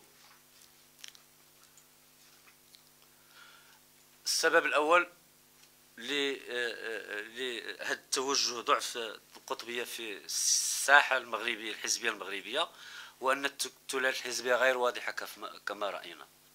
ثم الجانب الثاني أن الانقسام بين اليسار واليمين أصبح فقد معناه. بالمنظور بمنظور السياسات العمومية. إذا اعتبرنا بأن وجود يسار يمين فيجب أن تتغير السياسات. عندما يأتي حزب اليسار لا بد أن يهتم بالجانب الاجتماعي السياسة التعليمية إلى غير ذلك. ونلاحظ أن آه، نحن قلنا بأن آه، آه، الأحزاب الحالية هي تنتمي إلى أحزاب الليبرالية. وكاين في في إطارها نجد الدولة الاجتماعية إلى غير ذلك. ثم ولذلك الأدبيات في الدول العربية حاولت أن أن تفسر لماذا هذا الفشل في وجود تكتلات كبرى. العامل الأول الاختلافات الإيديولوجية. العامل الثاني انعدام الثقة المتبادلة بين الأحزاب المتنافسة. يعني يمكن للحزب أن يغير التحالف ما قبل الانتخابات فقط إذا لاحظ بأن المنافس هو الذي سيصل إلى يحصل أكبر مقاعد أو أنه بوجود يد خفية معينة نتحالف قبل الانتخابات وعندما تفرز الانتخابات نقصي بعضنا البعض من آه، آه، المناصب الحكومية. ثم هو توقعات القوى الانتخابيه الأحزاب العربية بصفة عامة آه، تنحو إلى الاقتراب من الحزب الذي من المتوقع أنه سيحصل على أغلبية انتخابية. ثم لا بد أن لا ننسى طريقة الاشتغال مع المعارضة. كيف تشتغل الدولة مع المعارضة؟ وشكرا لكم.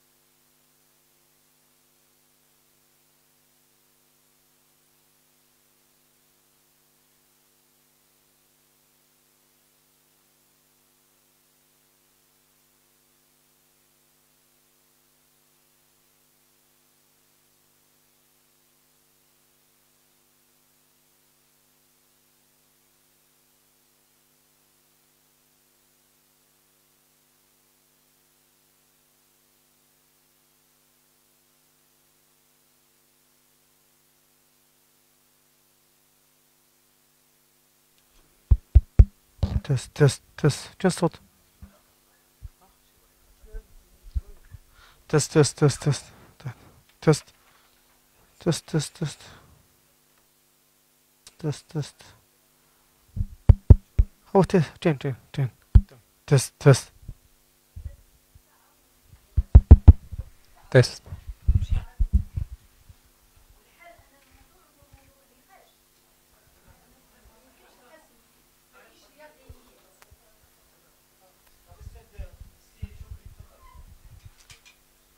الله الرحمن الرحيم.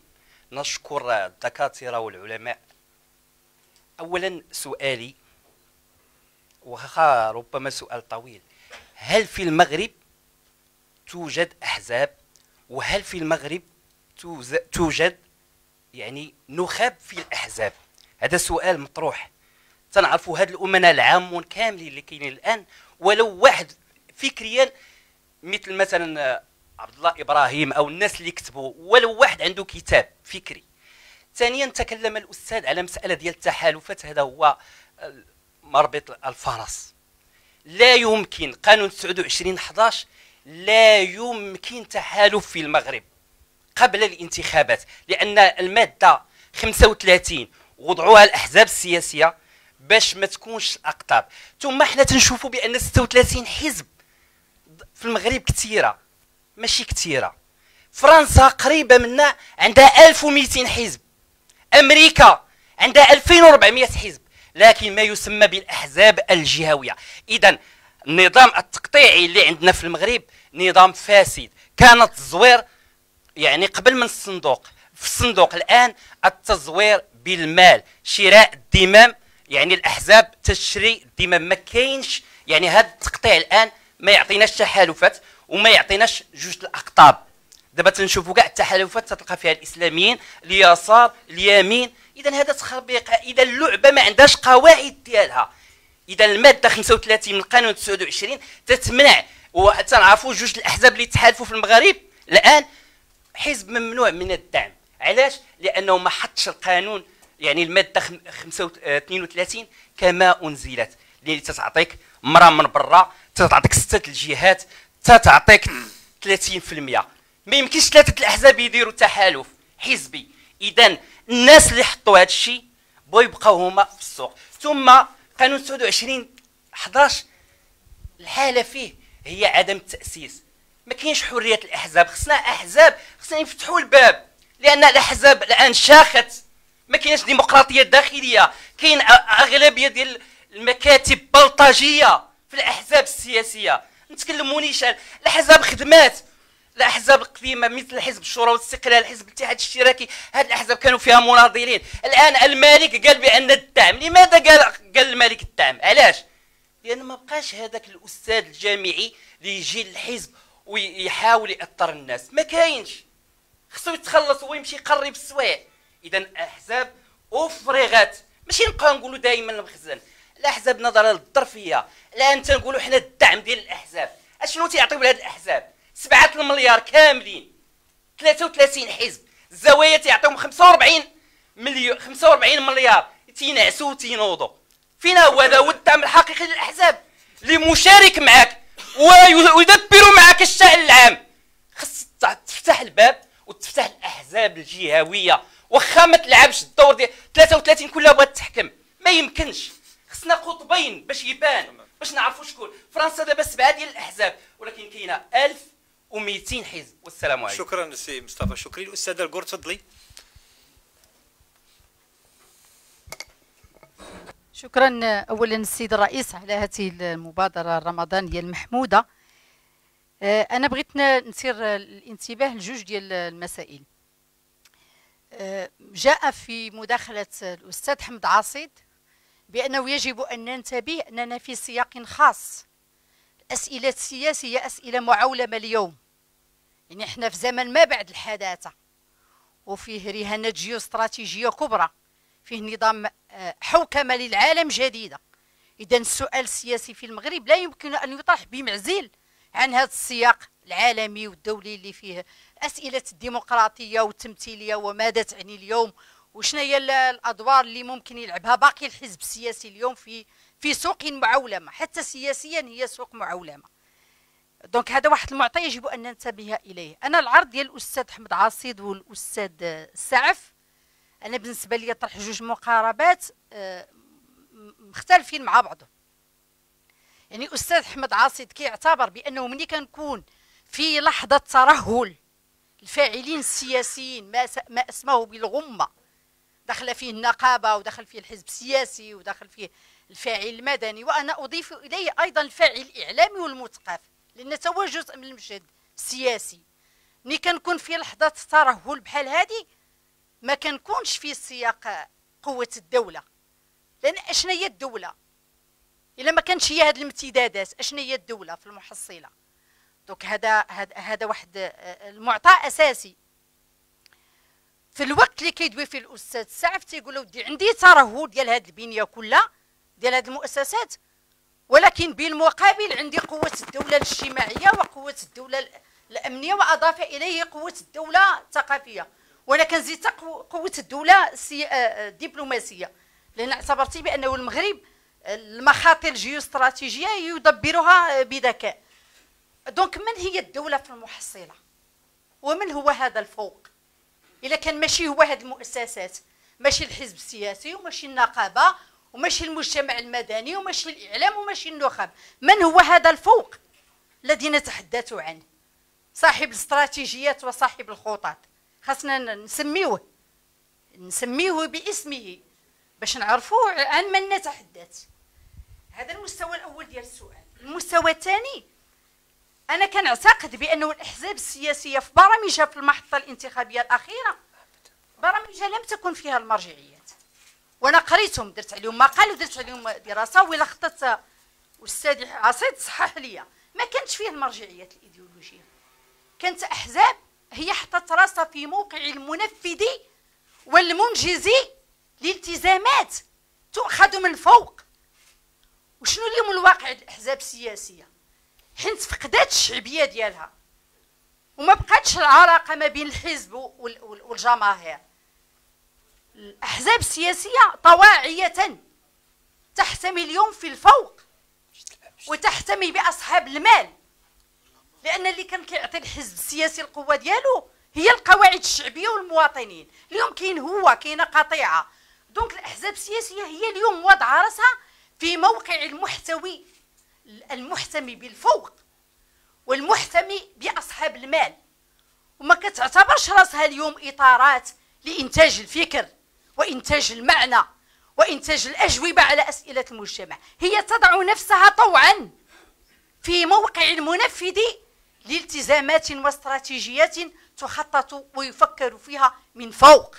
هذه الأحزاب السياسية. ولأنها وضعت نفسها في هذا الموقع ولات علاقتها مع المواطن فيها سلطوية. لم نشهدها في المشهد السياسي. عمر كان فاعل سياسي يخاطب مواطن يحتج باللغة الساقطة اللي كيخاطب بها اليوم. الفاعل السياسي المواطن حين يحتج وحين يعبر عن غضبه. لم نشهد ذلك قط بالعكس كان رجل السياسة كان نموذج الأخلاق في مخاطبة المواطن. علاش؟ لأن كان كيعرف بأن قوته ترتبط بالقواعد الشعبية. اليوم هذه القناعة انتفت عند الحزب السياسي. هو يحتمي بأشياء أخرى. يحتمي بالدولة التي تحدث عنها الأستاذ سعف بالنسبة لي الفوق. الفوق هو الذي يفكر والفوق هو اللي كيعطي فين يمشي. ونحن في وضعية انتظارية تامة وشاملة. يعني إذا لم يتحدث الفوق الحزب السياسي ما ما غيدير والو. وعلاقته في المواطن ما يمكنش يبني على التواصل. باش ندير التواصل مع الناس خاص تكون عندي رؤية. خاص نكون أنا حامل لتمثل لقضايا المجتمع وسأختم بشيء. أمام هذا الترهل وأمام هذا التدبير من فوق وأمام هذا استقواء الدولة الاجتماعية والإدارية والأمنية واش هل نحن لازلنا في زمن الانتقال الديمقراطي؟ أنا التقطت واحد الكلمة جات عند عاصي تيقولوا بديت هذيك المكتسبات الدستورية واش في الفعل واش حنا باقيين في زمن الانتقال الديمقراطي ولا هناك تراجعات ديمقراطية اليوم؟ هذا هو سؤال خصنا خصنا نطرحه فين حنا في مستوى ديال التجربة الديمقراطية ديال بلادنا؟ والمعذره اذا اطلت السيد الرئيس شكرا شكرا أستاذ القور. الأستاذ أستاذ مزروب تفضل. أينك؟ شكرا السيد الرئيس. اولا بادئ أشكر مؤسسة الفقيه التطواني لإتاحة الفرصة لهذا السمار السياسي الرمضاني الذي سيحمل في طياته ربما هذه الإشارات التي نتمناها كفاعلين ومراقبين للفعل السياسي المعاصر بالمغرب. إشارات ربما la recomposition لا une décomposition ديال ما يسمى le mal des mots marocain اللي هو ما يسمى الفاعله والوساطه السياسية في البلاد. كي لا أطيل السيد الرئيس وربما باش نشكر كافة المتدخلين لأن التقديم ديالهم ولا المداخلة ديالهم كانت في واحد السياق اللي كان مندمج وتكاملي. غادي نبدأ بالأستاذ سعف. السي عبد الله سعف تحدثتم ب كما تنقولوا قدمتوا واحد une fiche de lecture disons de la géopolitique du Maroc الا ترون هل ترون أن المغرب في حاجة إلى تعضيد الفاعلين؟ la recomposition du du politique أو إلى la recomposition ديال البنية السياسية والنسق السياسي؟ السؤال الثاني السيد الرئيس وهنا في التدخل بعدا كنشكر السي بن هلال لأن درتي مجهود. وناس ربما من باب التعقيب على السؤال الأول أنا من هذه المدرسة المغربية السياسية. وعلى ضوء واحد الكتاب اللي كنحي لكم عليه ديال آه، أيوب الفاسي. le Maroc la praxis libérale أنا je suis pour هاد l'idée ديالو حتى الأستاذ حسن وريد كيقولها. كيقول لك en tant que politologue باش ندرسوا واحد واقع سياسي il suffit pas de d'observer واحد le fait politique اللي كنشوفوه دابا وتحدثوا عليه الأساتذة كاملين mais il faut dégager les règles qui structurent le fait politique. وهنا ربما je fais allusion أستاذ بن هلال. أنا كنشوف أنه il y a de l'anachronisme politique. أنني إلا بغيت نهضر عاود باللغة ديال تجار الدين اللي هضروا علينا 10 سنين ديال الفعل السياسي في المغرب. بحال إلا كنهضر دابا وكنقول راه الجمل طالع فوق الطيارة ولا الرسول صلى الله عليه وسلم راه كان في الطيارة البارح جا من مانهاتن ولا من واشنطن. donc je peux pas faire la transposabilité ديال les bases ديال la sociologie politique في واقع سياسي. وغادي نعطيك مؤشر آخر. غداة الانتخابات ديال 8 شتنبر 2021 si ma mémoire est bonne مشيت لواحد فاعل سياسي qui se croit dans l'alternance démocratique و quelque part الاستاذ عاصي تشار ليها. شاركنا من هاد الناس ديال ما يسمى l'alternance pour ما يسمى éviter واحد القوس ديال 10 سنين ديال هذا الزمن السياسي وتسنينا في إطار le meilleur des pires ديال l'alternance politique جيت لهذه المؤسسة الحزبية في حي الرياض ما عندهمش ما يسمى le bureau d'ordre وكتعرفوا ال bureau d'ordre في المؤسسات؟ c'est الان في المؤسسات. c'est أول حاجة بغيتي ديرها ديال ما يسمى la production d'un document ولا ديال une traçabilité administrative ديال الاستقبال ديال داك الناس اللي ما يسمى les mandants اللي عطاوك الشرعية تما كتستقبلهم. قالوا لي ودي الأستاذ راه ما عندناش bureau d'ordre هنا ربما ندير غير ديباجه باش ما نعطيكمش la suite. وهنا ماشي باش نزايد على الآخرين. حتى 10 سنين الأخرى راه هو ما كاين والو. اللي بغيت نقول هنا كان الاستاذ عصيد أنه ضيعنا واحد 10 سنين. باش نمشي للسؤال الاستاذ بن خطاب حتى هو شرتي لهذه المسألة هذه. قلتي أن المستقبل ديال الاحزاب الأمين أستاذ بن خطاب راه مضمون. ألا ترون ان في هذا الواقع السياسي ديال واحد أحزاب لا تتجاوز واحد مليون صوت فيما يسمى les électeurs ولا في الشرعية هضرتوا شوية على علم السياسة وفكرتيني في جون بودان وماكس فيبر اللي تيقول ما يسمى triompher sa volonté dans le groupe par la logique de la persuasion وشويه د l'injonction هنا هضر عليها الاستاذ سعفو السي عاصيد واش كتشوفوا ربما ان هذا ال chose اللي قلت الاستاذ بن هلال انه غادي نكونوا مضيعه للوقت اننا نجيبوا باراديغما علوم السياسة لهذا الواقع العالي المغربي اللي ربما لا يتس... نقول 90% ديال الفعل السياسي ديالو اللي هضرت عليه وتيهضر عليه الاستاذ ايوب الفاسي في المرجع اللي ذكرت الي dans l'action dépolitisante dépolitisée de la politique واش كتشوفوا ما يسمى هاد هاد la logique اننا كنهضروا pour qualifier politiquement ce qui est dépolitisé déjà donc واش ما كتشوفوش راسكم في هاد l'anachronisme d'étude آخر سؤال يا سمحتي السيد الرئيس الأستاذ عسيد ما رأيكم وما وصفتكم الأستاذ أحمد لهذا المأزق الحالي؟ بغينا فيه خفوت الفاعل السياسي أو le super acteur كما هضر عليه الأستاذ سعف من جهة. وهذا كطموح. ولكن غياب ديك الوساطة وما يسمى النخب السياسية اللي مؤخرا كنا في نقاش في أكاديمية المملكة وكان تشارك معي واحد الأستاذ بوخبزه أنه تفاعل وأنا تشرفت من الناس دعوا لهذاك الشيء ديال une banque de données ديال les élites ديال le management public باش نتجاوزوا هذه الإشكاليات اللي عشنا في 10 سنين. وقال لي راه وجدنا واحد 500 واحد. وقالت السؤال الوحيد اللي تبادر لي للذهن فين غنلقاو الأستاذ عاصي هاد 500 واحد؟ مع العلم أن الواقع السياسي وتقال لي من عده اشهر الآخر إلا ما كنتيش ب casquette partisane ما تسناش بلاصتك في l'élite du management public Maroc donc فين كيفاش كتشوف؟ هذا المخزن كنقولوا له رجع شوية في la logique injonctionnelle أو ما يسمى الضبطية باش نديروا متنفس ديمقراطي ولكن ما عندناش الوساطات. والاحزاب السياسيه ساده البيبان ديالها وقالت لي لا سيدي ما يمكنش نعطيك الفيستا ديالي حيث الفيستا ما محكوماش ديمقراطيا. وشكرا. شكرا أستاذ زروب. أستاذ عبد الحق تفضل.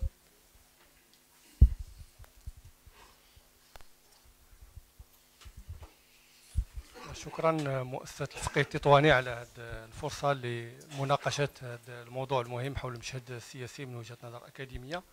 آه، حقيقة أنا لدي فقط يعني تساؤلات آه، على ضوء يعني المداخلات ديال السادة الأساتذة. أحاول أن أتساءل مع الأستاذ عبد الله ساعف حول ما وصلنا إليه هذا المشهد الذي رسمتموه يعني آه، قبل قليل. دولة قوية أمنيا و اجتماعيا وثقافيا مقابل آه، أحزاب سياسية مشتتة وضعيفة ومجتمع مدني ونقابات وأحزاب يعني ضعيفة آه، وواقع آه، ديال الدولة اللي هي الدولة القوية. هناك من يقول بأن هناك طلب اليوم على مستوى عديد من الدول على أن على طلب على الدولة القوية عدم الثقة في الفاعلين السياسيين. هل هذا الأمر الذي وصلناه اليوم في المغرب هل كان مخطط له؟ هل كانت استراتيجية؟ أما وصلنا إلى هذا الأمر يعني بطريقة تلقائية نتيجة مسؤوليات الفاعل الحزبي يعني داخل تراجع الديمقراطية الداخلية داخل الأحزاب وأيضا مشكلة اتخاذ القرار داخل الحزب أو طريقة فرز النخاب. كنشوفوا نخاب حزبية يعني لا علاقة لها لا علاقة لها يعني بالنخب التي كانت يعني في السنوات الماضية. هذا من جهة. من جهة ثانية آه، منذ التناوب يعني الديمقراطي في 1998 آه، كان الحديث عن الانتقال الديمقراطي. آه، الفاعلين السياسيين كانوا يتحدثون عن مرحلة انتقالية اللي غنوصلوا فيها للديمقراطيه اليوم لم يعد هناك هذا الحديث حول الانتقال الديمقراطي كأننا يعني هل وصلنا فعلا إلى الديمقراطية؟ هل الفاعلين اليوم السياسيين اقتنعوا بأن هذه اللحظة التي وصلناها اليوم هي الديمقراطية الحقيقية؟ أم لم يعد هناك اليوم طلب على الديمقراطية ويمكن هنا يعني تبرز يعني أطروحة موت السياسة. هل نعيش اليوم فعلا مرحلة موت السياسة؟ شكرا جزيلا. شكرا أستاذ عبد الحق. أخي متدخل السي عبد الحكيم. تفضل الاستاذ شكرا. مساء الخير. بداية أشكر المؤسسة اللي احتضنت هذا اللقاء العلمي والتواصلي العام. أنا بدوري غادي نسجل أن العروض يعني كانوا نبغى نقولوا متكاملين. يعني خدينا منهم واحد العدد ديال الزوايا ديال مقاربة الإشكالية المركزية ديال لا بغينا نخرجوا شوية حتى ربما نكملوا مع العنوان. وما معنى السياسة اليوم؟ ما معنى الفاعل السياسي وما هي أدواره؟ وكيف ينبغي أن تمارس هذه السياسة وما هو هذا النموذج ديال هذا الفاعل اللي ربما يشغلنا جميعا. سواء كنا أكاديميين أو فاعلين حقوقيين أو مواطنين المواطن من حقه يبحث ويتساءل على أي ديمقراطية يريد على أي حزب يريد على أي مجتمع ديمقراطي يريد. إذا أعتقد بأن باش غنتفاعل مع المداخلات بربعة بغيت نقسم هاد بغينا نقولوا هاد التساؤلات إلى آه، زاويتين. زاوية بغينا نقولوا البعد الدولي أو الإطار العام اللي تنعيشوا فيه التحولات اللي تعرفها العالم أكيد عندها آه، يعني تأثير. وهو ما ورد في العرض ديال السي عبد الحميد بن خطاب تكلم على السرديات آه، أفول سرديات تقليديه بروز ربما سرديات في طور التشكل مثلا. الآن ولينا تنسمعوا في واحد العدد المراكز دوليه واللي تتصنع السياسات آه، الكبرى على مفهوم عهد لا يقين أو لا يقينيات les certitudes ولينا تنسمعوا أيضا وكذلك من مفكرين كبار آه، يعني مرموقين notoriété نهضروا على مجتمع la société de risque مجتمع المخاطر. شفنا عهد الأوبئة عهد الفيضانات عهد الحروب الكوارث الإنسانية. بالتالي هذا واحد ربما السياسة براسها مطالبة نخرط واحد ال paradigme جديد ديال مفهوم السياسة في هذه الأوضاع العالمية الجديدة. وربما تبلور أيضا مقاربة لهذه الإشكاليات وهذه التحديات في في طور التشكل. نتحدث أيضا أيضا دائما في هذه السرديات الكبرى. هل لا زالت الديمقراطية التمثيلية عند هذيك البريق؟ وديك ال attractivité وديك القوة ديال التأطير وديال يعني اللي الفاعل الحزبي ولا حتى الدولاتي تيأمن بها وهي آلية اللي ربما التطوير والتنمية ديال المجتمعات. خاصة وأن شفنا مفاهيم جديدة تظهر. طبعا كاين اللي قوي كاين اللي خفيف كاين اللي في طور البحث عن الذات. تنتحدثوا على الديمقراطية التشاركية تنتحدثوا على الديمقراطية التداولية وربما اللقاء هذه الأمسية هو واحد الزاويه من الديمقراطيه التداوليه على هابرماسيان ديال سكون نابيل la démocratie procédurale donc هادو مفاهيم جديدة ربما في طور تنعيشوا crépuscule واحد سرديات كبرى ربما بزوغ واحد سردية جديدة تتشكل. طبعا كيف غيتعامل معها الفاعل السياسي والمفكر الأكاديمي؟ ربما هذا هو الانشغالات الرئيسية ديال الجامعة ثم ملي تنطرحوا هذا الإطار المفاهيمي الكوني تنوصلوا لواحد بعض الاستنتاجات كمؤشرات.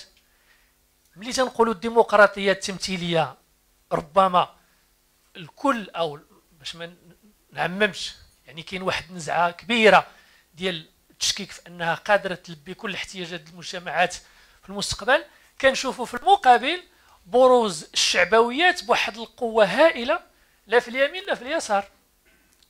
كذلك تنشوفوا بروز واحد النزعة ربما وصلت حتى للمغرب ديال أن ربما لما لا تفكير في الديمقراطية المباشرة استفتاءات الشعبية وكذا واحد العدد ديال المفاهيم. هادو كلهم قضايا تصور بأن الفاعل الحزبي معني بهم. وهنا ترجع لمداخله سي سعف اللي طبعا تكلم على أنه في السابق خصوصا في احزاب اليسار كان مفهوم الوثيقة الأرضية السياسية ولا المذهبية ولا المرجعية ولا المشروع السياسي مهم جدا.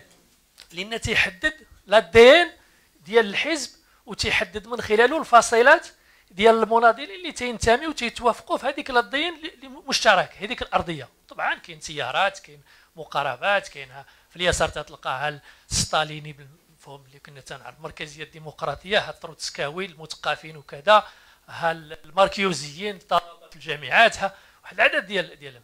الآن هذا الشيء ما كاينش فعلا. اذا هل الفاعل الحزبي الآن تنطالبوه بواحد الشيء. يعني من خلال النقاش كلنا تنهضروا على أزمة. أنا أتساءل دوري هل الفاعل السياسي بصفة عامة والحزبي بصفة أخص؟ باعتباره هو le vecteur ديال la dynamique ديال السياسة في المجتمع. هل نعيش أزمة حزب؟ يعني أزمة modèle un modèle de parti ولا تنعيشوا أزمة آه، آه، أرضيات؟ كما قلنا والمرجعيات اللي كنا العالم كله تيتناقش فيها. ولا تنعيشوا أزمة نخاب أو أزمة المناضل. يعني بين تنقولوا الآن الحزب وأنا متفق مع السي عبد الحميد تيقول خص الأحزاب تفكر تشوف المرحله دابا نخرط فيها. كاين مفاهيم متداولة ولكن واش الأحزاب عندها الإمكانيات وقادره تفعلها مثلا الثورة الرقمية. كل الأحزاب خصها تدخل الثورة الرقمية خصها تستافد من الوسائط كيف قال السي عصير ولكن هل ممكن نشوفوا في الأمد المنظور؟ le militant à distance المناضل عن بعد le militant digital شي حاجة بحال هكذا. واش يمكن دوك القوى الناعمة ولا دوك les mouvements ولا ديك l'activisme دوك النشطاء اللي الآن اصبحوا قوة؟ بغينا ولا كرهنا؟ قوة ضاغطة في الوسائط. ربما العرض اللي فات في كلية الحقوق المركز ديال الدراسات الاجتماعيه ديال الوجوه الجديدة أو الأوجه الجديدة للنشاط السياسي في المجتمع ودرنا على الوسائط. واش ما ممكنش يصبح le parti plateforme. يعني الحزب براسو يطور من من راسو باش يصبح هو في نفس الوقت شيء من الحزب التقليدي. parti de masse اللي هضرنا عليه بزاف ولكن de masse بشكل آخر la masse ماشي ديال اللي تيتجمعوا في قاعة وفي ملعب ويجي يخطب عليهم الزعيم.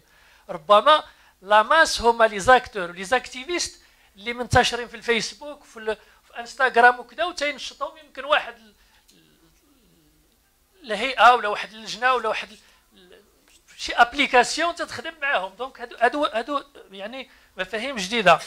بغيت أيضا من خلال هذه الأسئلة الكبرى نطرح واحد جوج نقيطات ولا اللي بانوا لي كمؤشرات الآن على الوضع اللي تنشوفه حاليا دابا. كما تيقولوا في الراهنيه خصوصا بعد الانتخابات الأخيرة بشكل جلي أنا أتصور بأن الهشاشة الكبرى هي عدم استقلالية الأحزاب. على الاداره أو السلطة أو نسميو كما بغينا. تيتشكل هذا المشكل العويص لأن كل شيء تكلم على أن الاحزاب ما كتاخذش المبادره سي عاصي تكلم عليها قال كل شيء تيعين من الفوق تغيير من فوق ماشي من تحت. علاش؟ هنا تنطرحوا مقارنة بسيطة. في نفس هذه الحقبة اللي تنتكلموا على الأزمة ديال الأحزاب فيها شقين. فيها نفس الأحزاب هذو اللي تكلمنا عليهم les partis de masse avant l'alternance. كانوا أحزاب قوية وفي المعارضة ومشاك ديال الجامعة والشبيبات وكل هما نفسهم. ربما بنفس القيادات باقي الوجوه بعضها كاينة. ولكن من بعد ال alternance ولا الأحزاب كيتمولوا ولا عندهم شوية البدخ المالي ولا عندهم مقرات في المستوى ولا عندهم كذا ما بقاوش كيقوموا بديك الدور. اذا هذا سؤال مهم. هذا ال paradoxe هذا ما مفهومش. كان المناضل تيعرض نفسه للسجن وتيبات كيف قالوا بعض الإخوان في ربما في الشوارع وتيفرق les tracts وكان مناضل.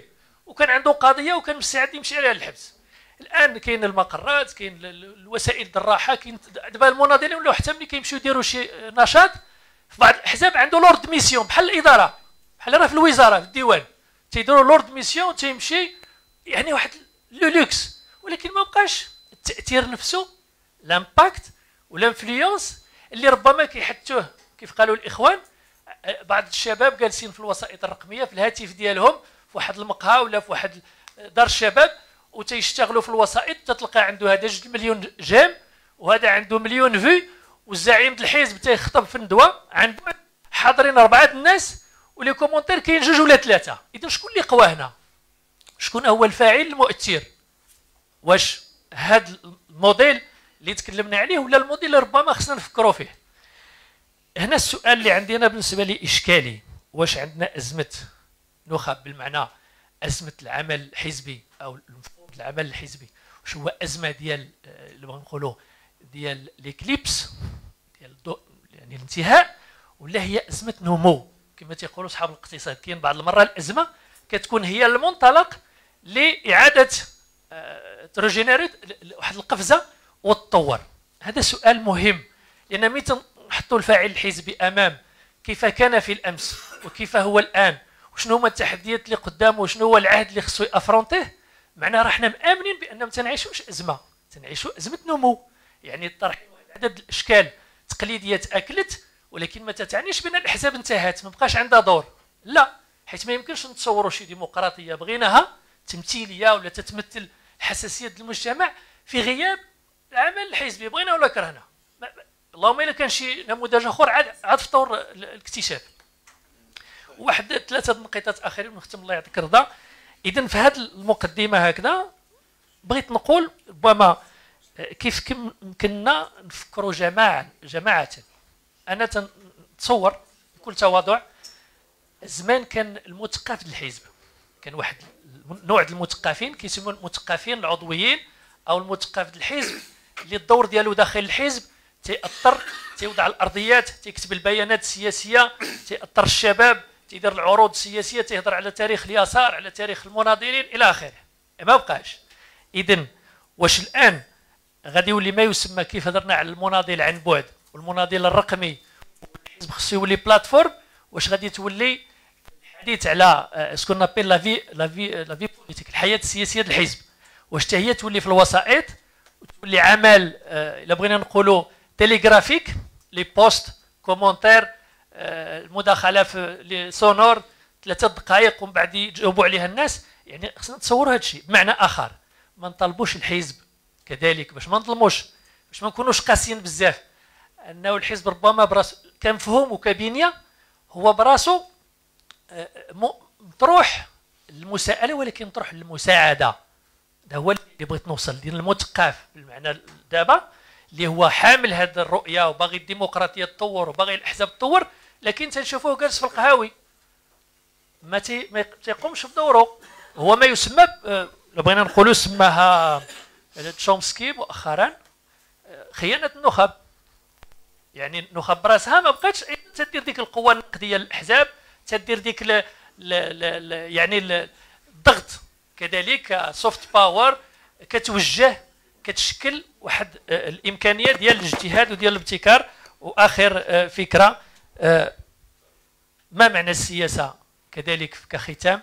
السياسة براسها واش هذا ال paradigme السياسة واش باقي لوحده كافي وشامل وضافي خصنا غير نبدلوا les modèles ديال l'action ونبدلوا المكونات ديالو النوع المناضلين ديالو النوع التمثلات وصافي وغتستمر السياسة. ربما السياسة براسها كنفهم ربما طرح فيها النقاش في العمق. paradigme ككل. شكرا. شكرا. شكرا سي عبد الحكيم. غادي نفتحوا المجال آه، نفتحوا المجال للسي سعف. تفضل. ما غنجاوبوش على كل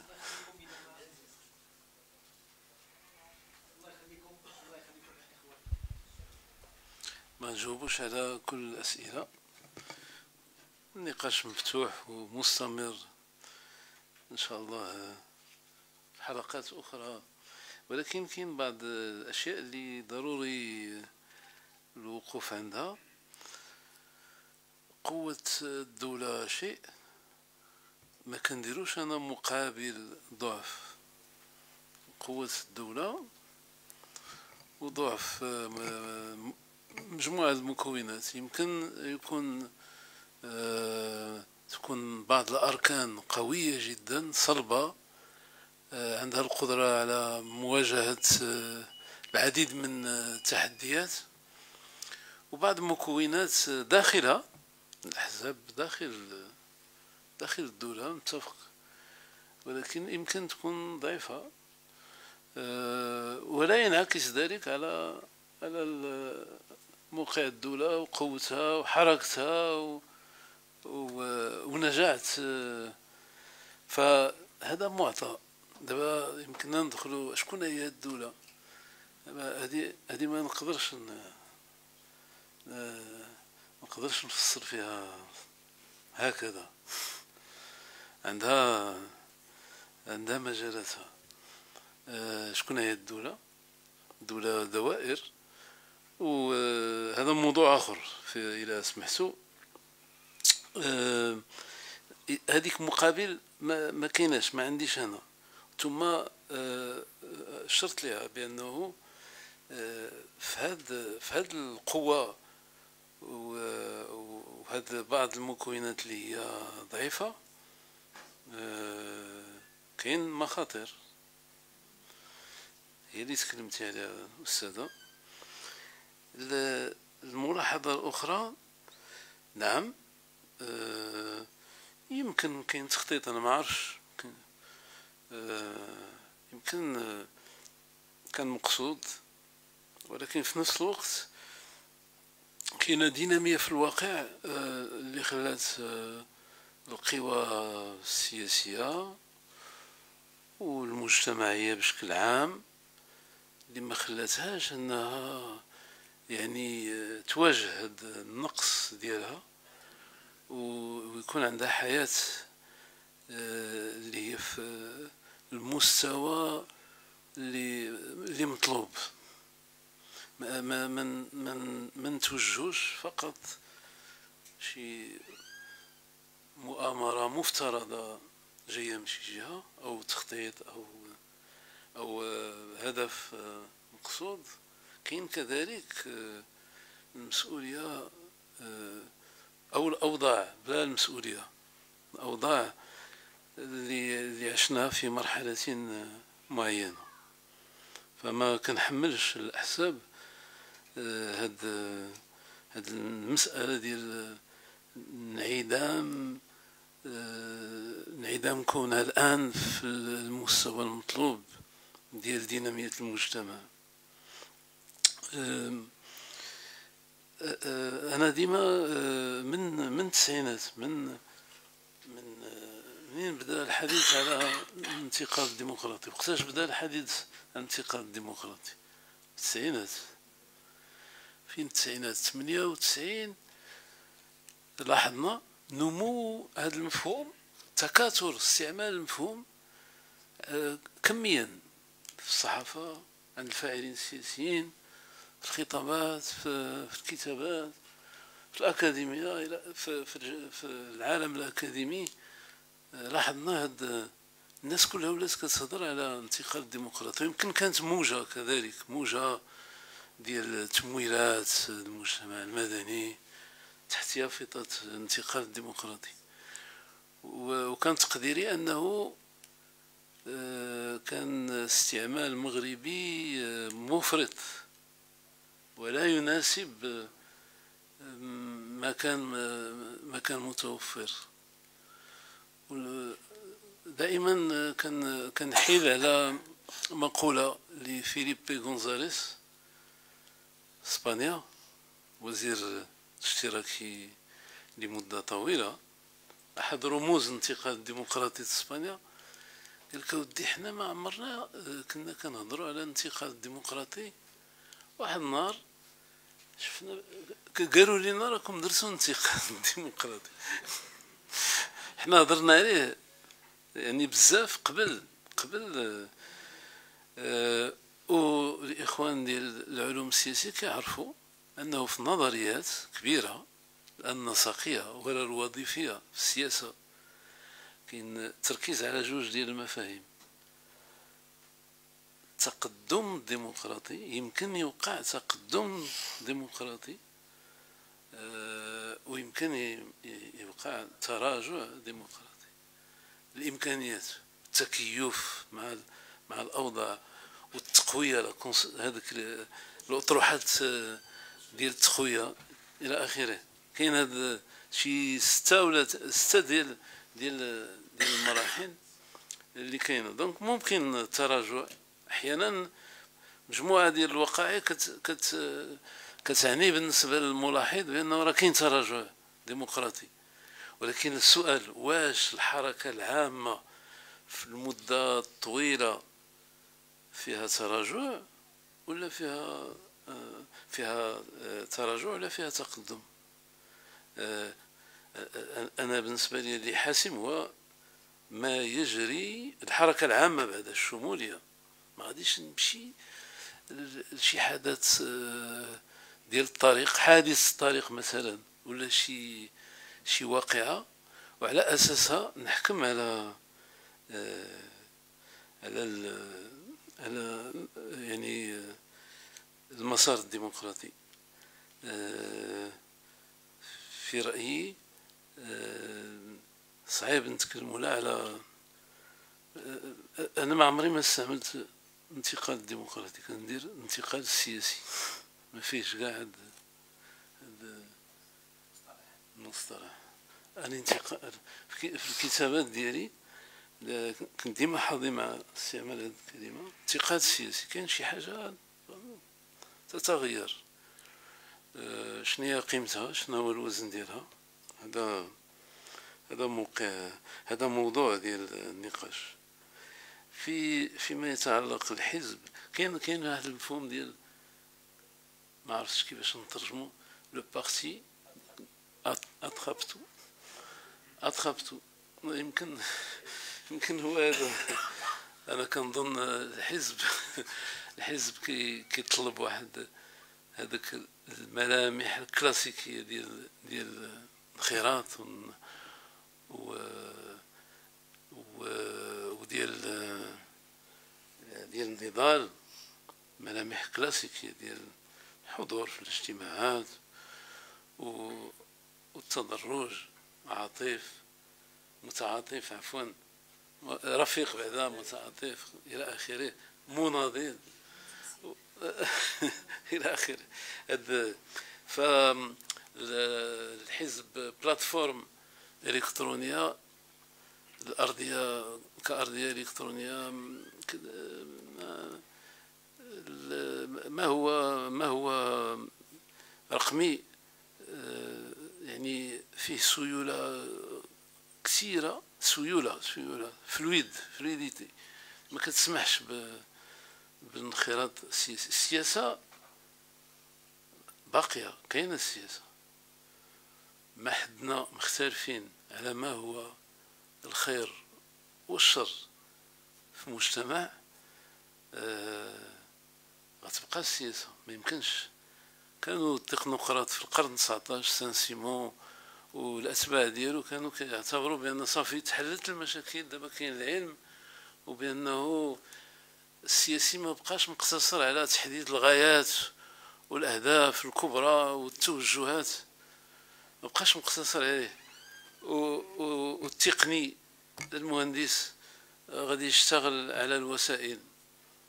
آه، كان التوزيع آه، العهد التكنوقراطي بدا كيفكر بأنه العلم تقدم إلى إلى الدرجة أنه ما بقاش الفرق ما بين التوجهات والغايات الغايات الكبرى وهذا. وقضية وقضية الوسائل. حتى الغايات يمكن يمكن آه، نشتغل على أساسها آه، علميا. ولكن هذا بان في نهاية الأمر بأنه السياسة حاضرة وضرورية بالنسبة للجسم المغربي. كاينة نزعة ديال تقننة كل الفضاءات. اجا سيدي نحيدوا السياسة من التعليم لأن التعليم مصلحة الجميع. لا خص يبقى الاختلاف السياسي حول التعليم. ما هو ما هو خير وما هو شر. خاص آه، هذا الجانب ثاني ما خصوش القضية الأخرى ما خصهاش يكون فيها اختلاف. آه لا سيدي خص تكون لأن في ذاك التنافس ما بين التصورات والمشاريع آه كتعطي حيوية للمجتمع. اللي كنخاف منه هو هاد آه لا ديفيتاليزاسيون آه نزع الحيويه من الجسم الجسم المغربي أخيرا أستاذ باش ما نتجاوزوش باش ما نبسطوش عليك قضيه المثقف اللي غيصلح الاوضاع شحال هادي شحال هادي بعدتها لا أنا عندي ثقه في السياسيين حتى في حالة الضعف. متمسك بالأحزاب وخصنا نقويهم. متمسك بالسياسة. ولكن ديك الجدلية ديال المثقف. وإصلاح المدينة والسعي للمدينة الفاضلة آه، عندها عندها قوانينها. آه، المثقف ما ماشي ماشي بالضرورة. خائن عندما آه، كيوضع مسافة مع العمل السياسي والإصلاح السياسي عنده مواقعه وذاك الموقع ماشي في الجامعة. كان كيوقع خلط أحيانا. غيوقع غادي خصو يكون في, في الحزب. هذا هو ديال المثقف المناضل. وهذا حتى هو سؤال آخر. بغيت آه، واحد النقطة. واش ائتلاف حكومي أستاذ؟ واش ائتلاف حكومي هو تحالف؟ واش تواجد مجموعة الأحزاب في نفس التشكيلة الحكومية؟ يعني بأننا صافي حققنا تحالف. تحالف كيظهر أثقل أثقل من فيها فيها واحد العمل على البرامج. وفيها اقتراب وفيها تمفصلات وفيها فماشي كون صدفة ولا تخطيطا بفضل التخطيط آه، تجمعوا مجموعة الأحزاب. هذا سؤال أنت انت أنت قربتي للموضوع أكثر غادي غادي تجاوبنا على هذا شكرا.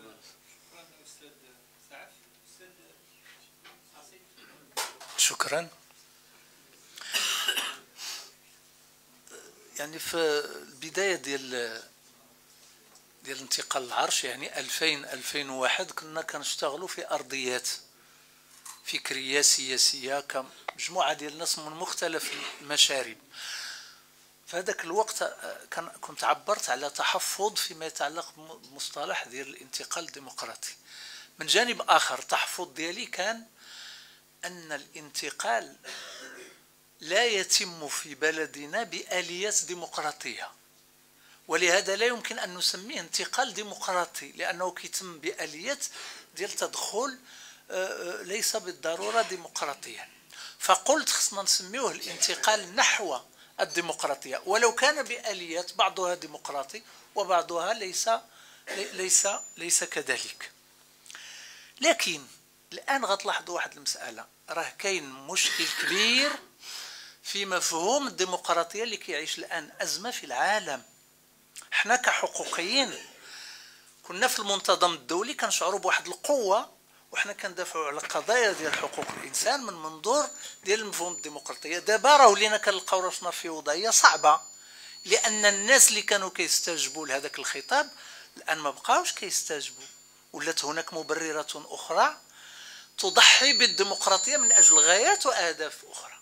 وهنا وقع اهتزاز على الصعيد ماشي فقط في بلادنا على الصعيد الدولي وقع وقع اهتزاز في المفهوم ديال ديال الديمقراطية. وفي بلادنا شنو وقع؟ كان وقع واحد التواطؤ واحد الوقت على اختزال مفهوم الديمقراطية وهذا غلط فادح جدا. كان جنيو دابا الثمار ديالو اختزال مفهوم الديمقراطية في صناديق الاقتراع. لا عند السلطة ولا عند الأحزاب ولا عند التيار الإسلامي بالخصوص لأن التيار الإسلامي كان كان خايف من القيم ديال الديمقراطية كيعتبرها غربية ما باغيهاش. دونك شد الديمقراطية ردها فقط آلية ديال الاقتراع وديال الصناديق. كيقول لك أسيدي سنحتكم إلى صناديق اقتراع. وبطبيعة الحال على المستوى القيمي عندهم هما قيم أخرى اللي هي ليست قيم الديمقراطية. اذا بغاو الآلية وما بغاوش القيم. السلطة ساعدات على هذا. واليسار جزء من اليسار ساعد عليه علاش لأن في واحد الوقت استعمل الإسلامي كفزاعه ضد الحزب الاشتراكي الكبير اليساري الا بغيتوا الديمقراطية دوك غنطلقوا هاد الناس حتى هما يدخلوا في. ولقينا تفاجئنا أن واحد العدد اليساريين آه، تراجع أيضا على المفهوم الشامل ديال الديمقراطية ولا كيعتبر آه، أن هناك يعني خاص نوع من التسويات. النتيجة الآن أن المفهوم ديال الديمقراطية غامض عند الناس. واحد العدد الناس كيعتقد أن الديمقراطية هو ديكتاتورية الأغلبية العددية. وهنا خسرنا مفهوم الديمقراطية. ولهذا يعني وقعت مشكلة في الديمقراطية التمثيلية عالميا وحتى في بلادنا. وفي تونس الوضع التونسي يجسد بوضوح أزمة الديمقراطية التمثيلية. هذا الشيء اللي وصلت له تونس دابا. لأن الناس في واحد الفترة اعتقدوا بأنهم بالديمقراطية التمثيلية غيحلوا المشكل. الناس اللي كانوا كيصفقوا الاردوغان في تركيا لأنه نقل البلد من النظام البرلماني إلى النظام الرئاسي ووضع جميع المعارضين في السجون وغلق أزيد من 30 مجلة وجريدة اللي كتعارضوا. وقال أنا ربكم الأعلى. كانوا كيأزروا وكيصفقوا ليه؟ الان كيستنكروا قيس سعيد اللي قام بنفس الشيء. نقل تونس من النظام البرلماني إلى النظام الرئاسي وضع الصلاحيات كلها في يده وضع خصومه في السجون وأغلق المنابر نفس العمل ديال إردوغان. ولكن صفقنا الواحد وكنستنكروا الآخر. عندنا مشكل في معنى الديمقراطية اليوم وفي السياق الرأي. القضية ديال ضعف الأحزاب أنا شخصيا دائما في هذه النقطة هذه كنبغي ندقق شوية أنه لا يتعلق الأمر بضعف الأحزاب راه يتعلق بضعف وإضعاف. لأن الأحزاب ماشي بين عشية وضحاها أصبحت ضعيفة. هناك طرف يعتبر في الدولة أن وجود قوة سياسية طليعية يشكل تهديدا للدولة. وهذا منظور خاطئ لأن قوة السياسة ومصداقية الحياة السياسية هو في وجود فاعلين سياسيين طليعيين وكبار وكيحركوا إلى آخره. وراه إلى حدود الساعة راه باقي عندنا المشكل. زعيم سياسي في المغرب يخاطبني كنسولو كنقول له فلان في كوفيد فين هي الأحزاب في كوفيد؟ حنا كنا محتاجين أن الأحزاب تلعب دور في التوعية بضرورة الاحترام ديال واحد العدد ديال الضوابط وكذا وتوعي المواطن كذا قال لي شكون اللي خلاك؟ راه قالوا لنا خصكم ترجعوا للور الدولة اللي خصها تكون في الدولة بمفهوم يعني خاص ليس بالمفهوم العام يعني ساعه في طرح السؤال ما معنى الدولة؟ بمعنى الأحزاب هل هي ضعيفة أم اضعفت وجعلت في الموقع الذي الذي هي فيه. هذا مشكل حقيقي. هناك احتكار. ولما كيكون هناك احتكار ديال السلطة وكيكون احتكار ديال القيم وكيكون احتكار ديال الثروة كيكون ما تحدث عنه السي مزروب. احتكار المناصب أيضا واحتكار الحظوظ ديال الولوج إلى مناصب معينة. وهذا الشيء الآن راه البلد يعاني منه لأن الشعور بالتذمر العام يزداد وكاين انفجار في الفيسبوك وفي اليوتيوب وفي كذا حول هذا الموضوع خاصة من بعد المشكل اللي وقع في الوزير العدل في القضية ديال مباراة المحاماة إلى غير ذلك. المواطنين ولاو كيشعروا بأن هناك احتكار لكل شيء وفي المجتمع اللي كيوقع فيه هذا كيوقع احتقان وهذا الاحتقان ربما في مرحلة ما غيكون من الصعب اميتريزي وعلى يعني اننا أننا نتحكموا فيه. أه، هناك فقدان ديال استقلال القرار الحزبي. المؤتمرات الأحزاب إلى تبعناها كيفاش كدوز؟ كيف كيفاش كيدوز المؤتمر وكيف يتم انتخاب الزعيم؟ ليس هناك استقلالية في القرار الحزبي. ثم في مرحلة ما لاحظنا بأن السلطة ما بقاتش باغا الزعماء اللي كيتكلموا بزاف. فأحيل جميعا على الهامش. ونقدروا نذكرهم بالأسماء. والطريقة باش تم التخلص من بعض الزعماء في المؤتمرات كان فيها حتى عنف كبير وتكسير ديال الصحون وديال الطبالي وديال كذا من أجل أن زعيم معين ما يبقاش زعيم خصو يمشي في حاله. ويتم الإتيان بشخص ليست فيه مؤهلات الزعامه لا يتكلم ما. ما يقدرش يجمع الناس. ما يق... كاع المواصفات اللي يمكن تصورها في زعيم حزب سياسي لا تتوفر فيه ووضع هناك للتسوية للتسوية مرحلية. فهنا يمكن نتكلموا على فقدان تام ديال استقلالية القرار الحزبي عند الأحزاب. ولهذا أنا أتحدث دائما عن ضعف وإضعاف. ضعف لأن هذه الأحزاب قبلت؟ انها توضع في هذا وإضعاف لأن هناك الطرف الأقوى الذي يتصرف على أنه لا ينبغي أن يكون هناك إلا فاعل سياسي واحد في في الساحة. وهذا تفقير للحياة السياسية. وكيفلت علينا كيضيع علينا فرص كثيرة باش نمشيو باش نمشيو بعيد. وكيف قال الأستاذ ساعف أنا منين كنلقي نظرة من 2011 لدابا كنتفق معاه. على المستوى العام الشامل نعم راه ما يمكن لشي واحد عاقل يقول راه حنا راجعين للور. لأننا حققنا خط ولكنها خطوات بطيئة وأقل بكثير من طموحنا ومن حلمنا.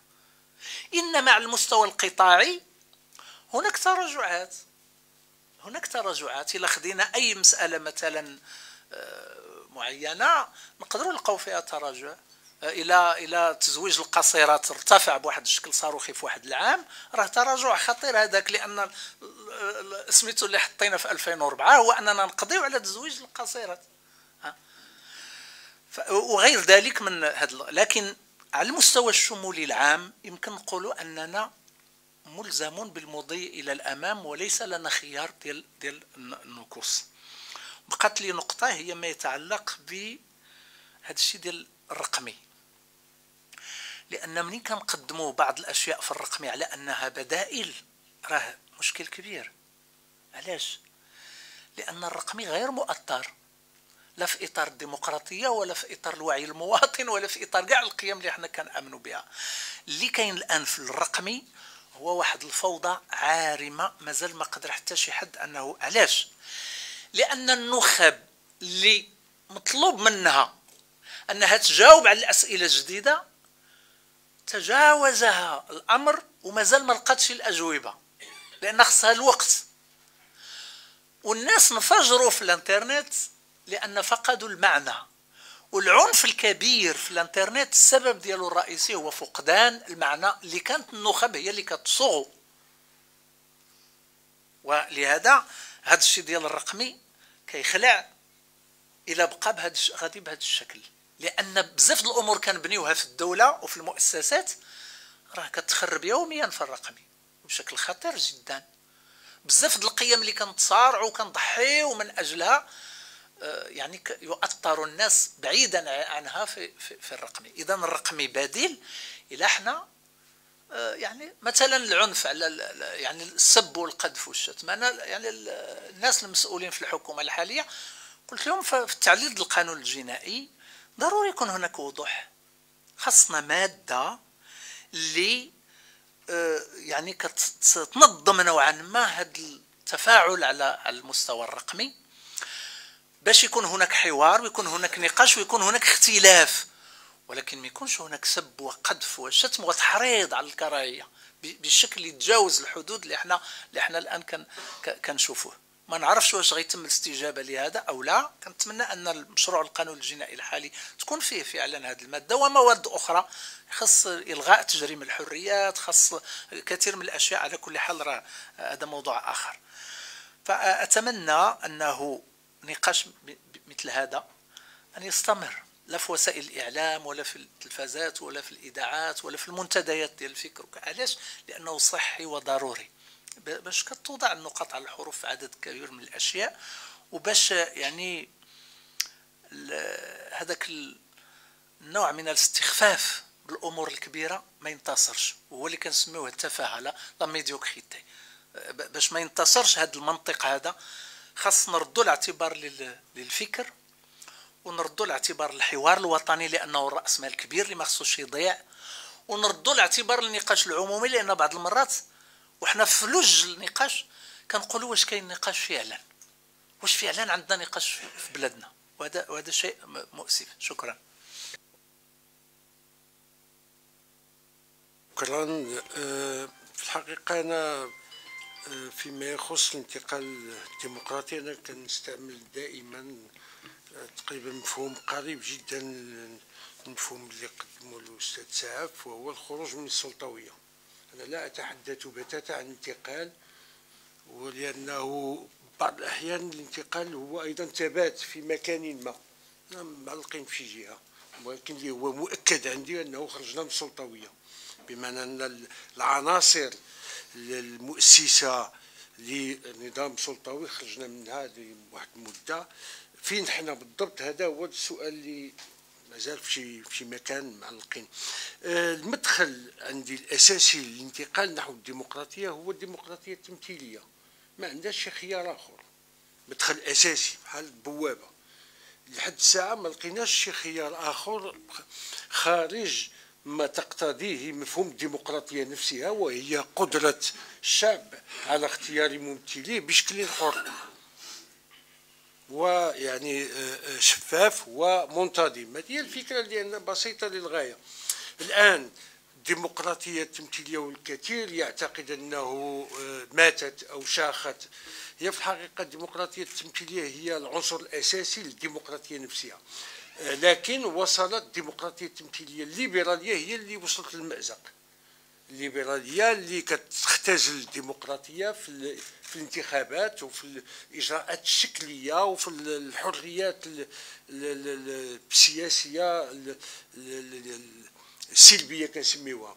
لكن آه، كاين أشكال أخرى الديمقراطية اللي ممكن أنها آه، تعضد وتقوي الديمقراطية التمثيلية لكن لا محيدة عن الديمقراطية التمثيلية. أيضا هذه فكرة فكرة أخرى عندي أنه أنا يعني آه، أختلف تماما مع الرأي القائل بأن الأحزاب السياسية في المغرب ماتت أو فقدت قدرتها على الحركة أو أنها انتهت ابدا. يعني أنه أعتبر أنها لا زالت آه، لا زالت كائنه وستبقى فقط. أتنبأ بأن أحزاب اليسار هي اللي غتكون عندها مشكل فيما يتعلق بتحديث آه، تحديث الهياكل الحزبية ديالها لماذا كما قلت لأن المرجعية صلبة والتنظيم صلب. ما يخليهاش يعني تتعامل بسهوله تفاعل بسهولة مع ما يقع. لكن عموما أنا أعتقد أن إذا كان هناك من وهن الأحزاب السياسية فهذا راجع للعلاقة الهيمنية بينها وبين الدولة. بطبيعة الحال في علاقة هيمنة دائما كاين طرفين. لا أعتقد بأن الأحزاب السياسية هي طرف يعني لا إرادة له. كاين هناك طرف مهيمن وهذه العلاقة لا تدوم العلاقة الهيمنة لا تدوم إلا إذا كان الطرف المهيمن عليه قابل بها. نكونوا واضحين؟ ما كاينش مهيمن بدون مهيمن عليه. وبدون إرادة مهيمن عليه بمعنى أنه يعني ماشي أحزاب كتفرج فقط وتنتظر أن تمارس عليها الهيمنه أعتقد أن ما يقع الأحزاب السياسية فيه أيضا إرادة ذاتية عندما تدخل الأحزاب السياسية في تسويات وفي توافقات سياسية وهذا ما وقع في المغرب. يعني أن الأحزاب السياسية دخلت في توافقات شوف بالنسبة لي أنا كاين المؤسسه الملكية وكاين الأحزاب السياسية ثم النخب الأخرى. الفعل السياسي الدولتي بالنسبة لي الأحزاب السياسية ليست خارجة عن الدولة أو ضد الدولة. أنا ما كنفكرش في الأحزاب السياسية كعدو للدولة أو انها خارجة هي جزء لا يتجزأ من من الدولة. وهناك توافق والتوافق المشكل ديالو وهو يقتل التنافس. ويقتل أيضا الصراع ما كيبقاش صراع. عندما نتوافق ما كيبقاش كتولي تما شنو؟ كيولي لا كوبيراسيون يعني شنو نسميوها باللغة العربية؟ يعني التعاون والعلاقة اللي دخلت فيها الأحزاب ديالنا في المغرب دخلت في علاقة تعاون مع الدولة أكثر من علاقة لماذا؟ لأن التعاون أقل كلفة من الصراع مثلا يعني كنحسبوها اذا كاين هناك المنطق ما يسمى بالديمقراطية التوافقية اللي هي ليست بالضرورة ديمقراطيه 100% لأن التوافق الديمقراطية هي قانون الأغلبية قانون ديال الأغلبية هو الأساس. آه، عندما ندخل في منطقة التوافقات نقتل أيضا كل مجال الصراع السياسي والنقاش السياسي العميق وكتولي مسألة ديال التوافقات نقدروا نديروها في الخفاء آه، وهذا ما يفسر عدم حيوية المشهد السياسي لأن كاين توافقات في الخلف في الكواليس. كنجيو كنجيو حنا متفقين بيناتنا. وهذا أمر سائد في المجتمعات التوافقية اللي هي بحال المجتمع المغربي. وشكرا شكرا السيد الرئيس. ربما أن يعني غالبية التفاعلات يعني تتفق على هذا الوضع ديال الأحزاب السياسية. يعني الخطاب التبخيسي غير غير مقبول ولكن التشخيص مهم. اننا لا يمكن أن نتعامل مع وضع معين بدون قراءة موضوعية. أعتقد بأن كاين مقتربات في علم السياسة هي الوظيفة. ما هي وظيفة الأحزاب السياسية في السياق الحالي؟ في في مرحلة معينة. كانت الوظيفة أنها تريد أن تقدم بديلا للعرض لعروض سياسية موجودة سواء داخل الدولة أو خارج الدولة. الآن لم يعد لها هذه الوظيفة أنها تقدم بل وظيفة رئيسية هي آه، العمل على تنفيذ على تنفيذ البرامج. العمل على تنفيذ المخططات الكبرى التي وضعت في في زاوية معينة من النظام السياسي. وليس الاقتراح وليس التوفر آه، على رؤى بديلة لا مطلوب ليست وظيفتها. آه، ممكن أن نعتمد على هذه المقاربة وهذا يحتاج إلى مزيد من يعني لا يمكن الخروج في فقط من خلال هذا النقاش بفكرة معينة حول حول ما يجري لأن الوضع معقد باش من التعامل مع الواقع الاجتماعي. التبسيط دائما يؤدي إلى قراءات خاطئة. جانب ثاني هو ما يحدث في الإنترنت. أعتقد لا يعكس المجتمع لأن الشرائح الموجودة في الإنترنت ليست كل الشرائح الاجتماعية. في الغالبية الكبرى هي شرائح شابة. هي التي تتفاعل بشكل أكبر. الشرائح ديال 50 سنة 60 سنة فما الفوق أو مثلا الشرائح الموجودة في مناطق غير مغطاة. أو الشرائح التي لا تملك أدوات النقاش العمومي ما موجوداش تما. كيف يمكن؟ ولذلك الرقمي يجب أن نتعامل معه بحذر. الرأي الذي يقول القانون الجنائي للتعامل مع الرقمي أعتقد بأن ماشي ليست كل الأمور تحل بالقانون. خصنا واحد التربية تنشئة. لكي نعلم الناس هذا وهي متوفرة مجانية أيضا. يمكن أن نستعملها الرقمي لتأثير النقاش العمومي هناك. لأن الشباب من خصوصيته الاندفاع من خصوصية الأحكام الغير المبنية من من خصوصية الطموح الزائد من قراءة غير واقع يعني غير موضوعية إلى غير ذلك وبالتالي نحتاج وهذا الدور المجتمع المدني وأيضا دور الأحزاب تأطير تأطير هذا المقاربات. أعتقد بأن آه، آه، آه، استخدام نقولوا هذا دائما في النقاش الأكاديمي واش دائما لا كل المقاربات التي نأتي بها من المدارس الغربية واش هي صالحة ولا لا؟ هذا نقاش أكاديمي الذي يقول أنه غير صالحه يجب أن يثبت ذلك بالدليل العلمي لأن في العلم ماشي النتيجة هي المهمة. لا ديمارش. يعني الاستدلال هو المهم لأن هذا نقاش علمي ماشي نقاش الشارع وبالتالي نحتاج إلى تجديد على الاقل في الباحثين تجديد المقاربات تجديد تقنيات البحث وهي التي تستخدم في إنتاج آه، الائتلاف الحكومي والائتلاف الحزبي. يعني في الأدبيات يقولون كلما وجدنا أمام ائتلاف حكومي يتكرر في السلطة ثم بسبب خياراته يعاقب يأتي ائتلاف حكومي آخر لم يكن في السلطة ولديه وزن انتخابي ومع شرط وجود واحد الانسجام إلى غير ذلك هذا يمكن أن يؤدي إلى نشأة ائتلافات حزبية.